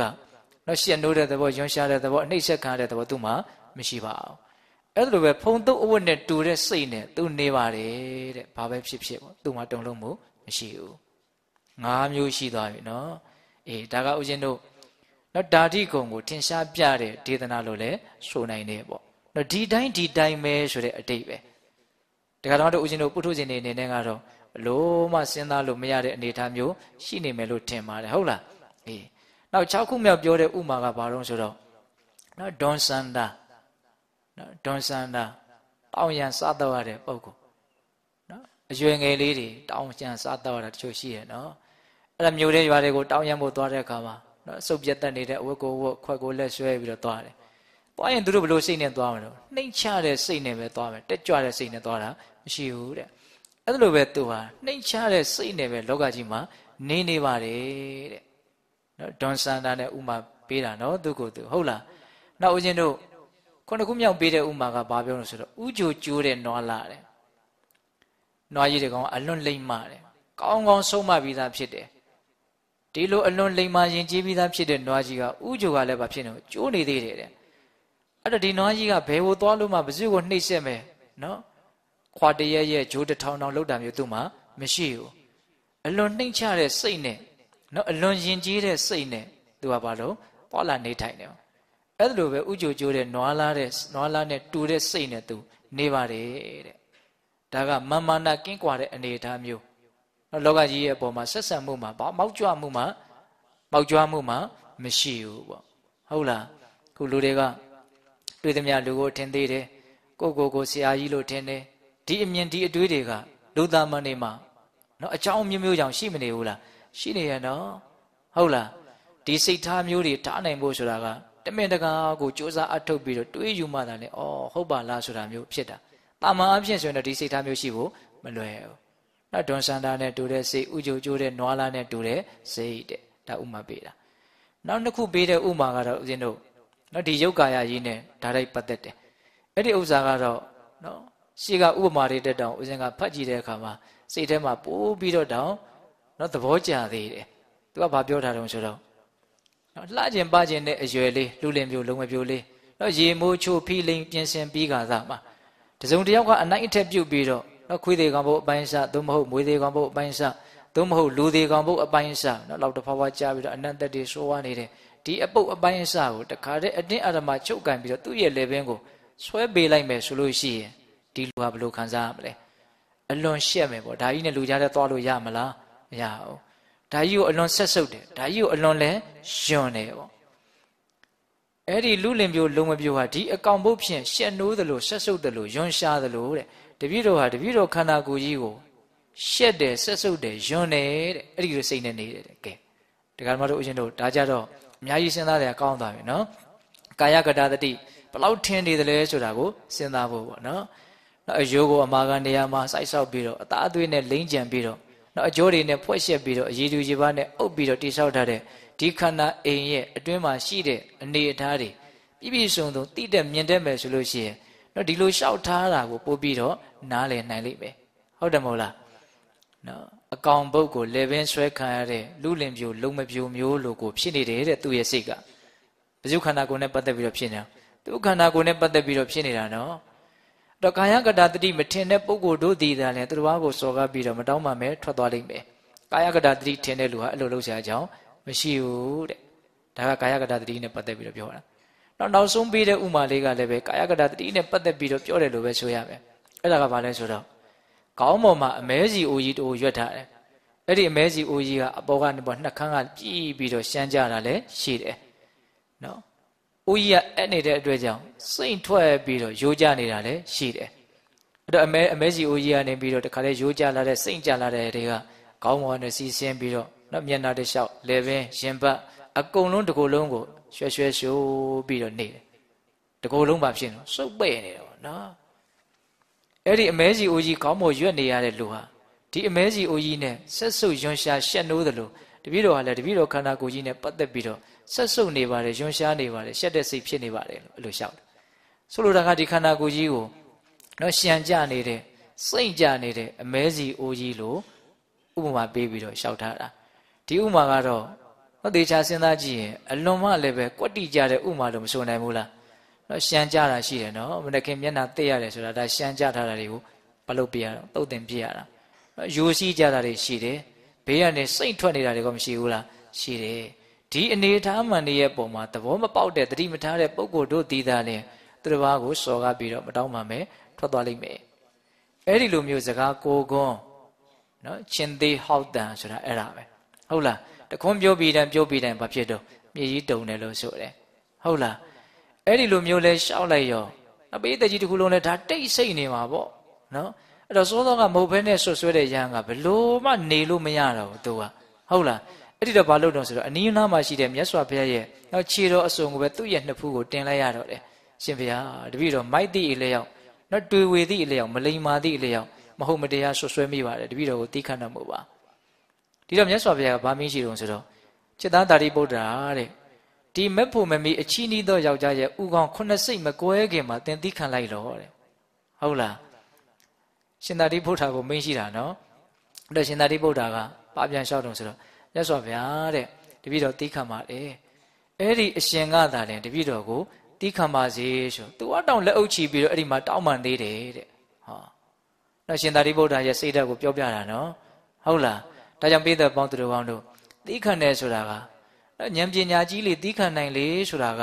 ဒီနေရာမှာလဲလာပြီးတော့ကွက်တိလာပြီးတော့ကြာနေတယ်ဖျားပြည့်စီကဗုဒ္ဓကလွှဲရင်လောကကြီးမှာဉာဏ်ပညာကြီးမားဆုံးဟာမဆိုလဲရှင်သာရိပုတ္တရာပဲနော်ဒါရှင်သာရိပုတ္တရာလည်းသိခံနိုင်တာကတော့ဖျားပဲရှိတော့မယ်လို့ပဲပြောဖို့ပဲရှိတယ်ဟုတ်တယ်မို့လားနော်သိခံမှုစွမ်းရည်ကိုပြောပြတာဟုတ်လားဒါကြောင့်ပိဿပေါင်းသူတော်ကောင်းတို့နော်နောက်နေများမှာနော်ရှင်သာရိပုတ္တရာကိုရမြတ်ကြီးဟောတဲ့ နော်အနင်္ဂနတုတ်တန်ဆိုတာကိုဦးဇင်းတို့ပြောဖို့ရှိတယ်တရှင်သာတိဗုဒ္ဓနဲ့ရှင်မာမောကလန်ကိုရမြတ်ကြီးတို့ရဲ့အချင်းချင်းပြောဆိုခဲ့ကြတဲ့အတွေ့အကြုံတွေအများကြီးရှိတယ်ပြီးတော့ရှင်သာတိဗုဒ္ဓပြိဋိဘံစံတဲ့အကြောင်းအမြတ်ဗံကမှာပြောပြီးတော့နောက်ရှင်သာတိဗုဒ္ဓရဲ့အကြောင်းနှစ်ညဖြစ်မယ်ပေါ့နော်အဲ့တော့ဒီကနေ့တော့နောက်ရှင်သာတိဗုဒ္ဓရာနော်ဒီခါနိုင်တဲ့စွမ်းရည်ကိုနာယူရင်းနဲ့ပဲနောက်ရှင်သာတိဗုဒ္ဓတရားတော်အပိုင်း1ကိုဆုံးသတ်ကြရအောင်ဟုတ်လားဒါကြောင့်ဒီကနေ့ပေသပေါင်းသူတော်ကောင်းတို့ကြိုးစားအထောက်ကြရသောဒါနသီလသမာဓိပညာ ကုသိုလ်ကောင်းမှုအစွတ်စွတို့ရဲ့စွမ်းတတ္တိကြောင့်ဘုရားတပည့်တော်တို့သည်မဲ့ညာဘုညာမျက်နှိဗံကိုလင်းမြန်ထုတ်ချောက်မျက်မှောက်ပြုပြရစေကုန်သောဟုပတ္တနာအောင်စုပြုကြကုန်ရာတည်း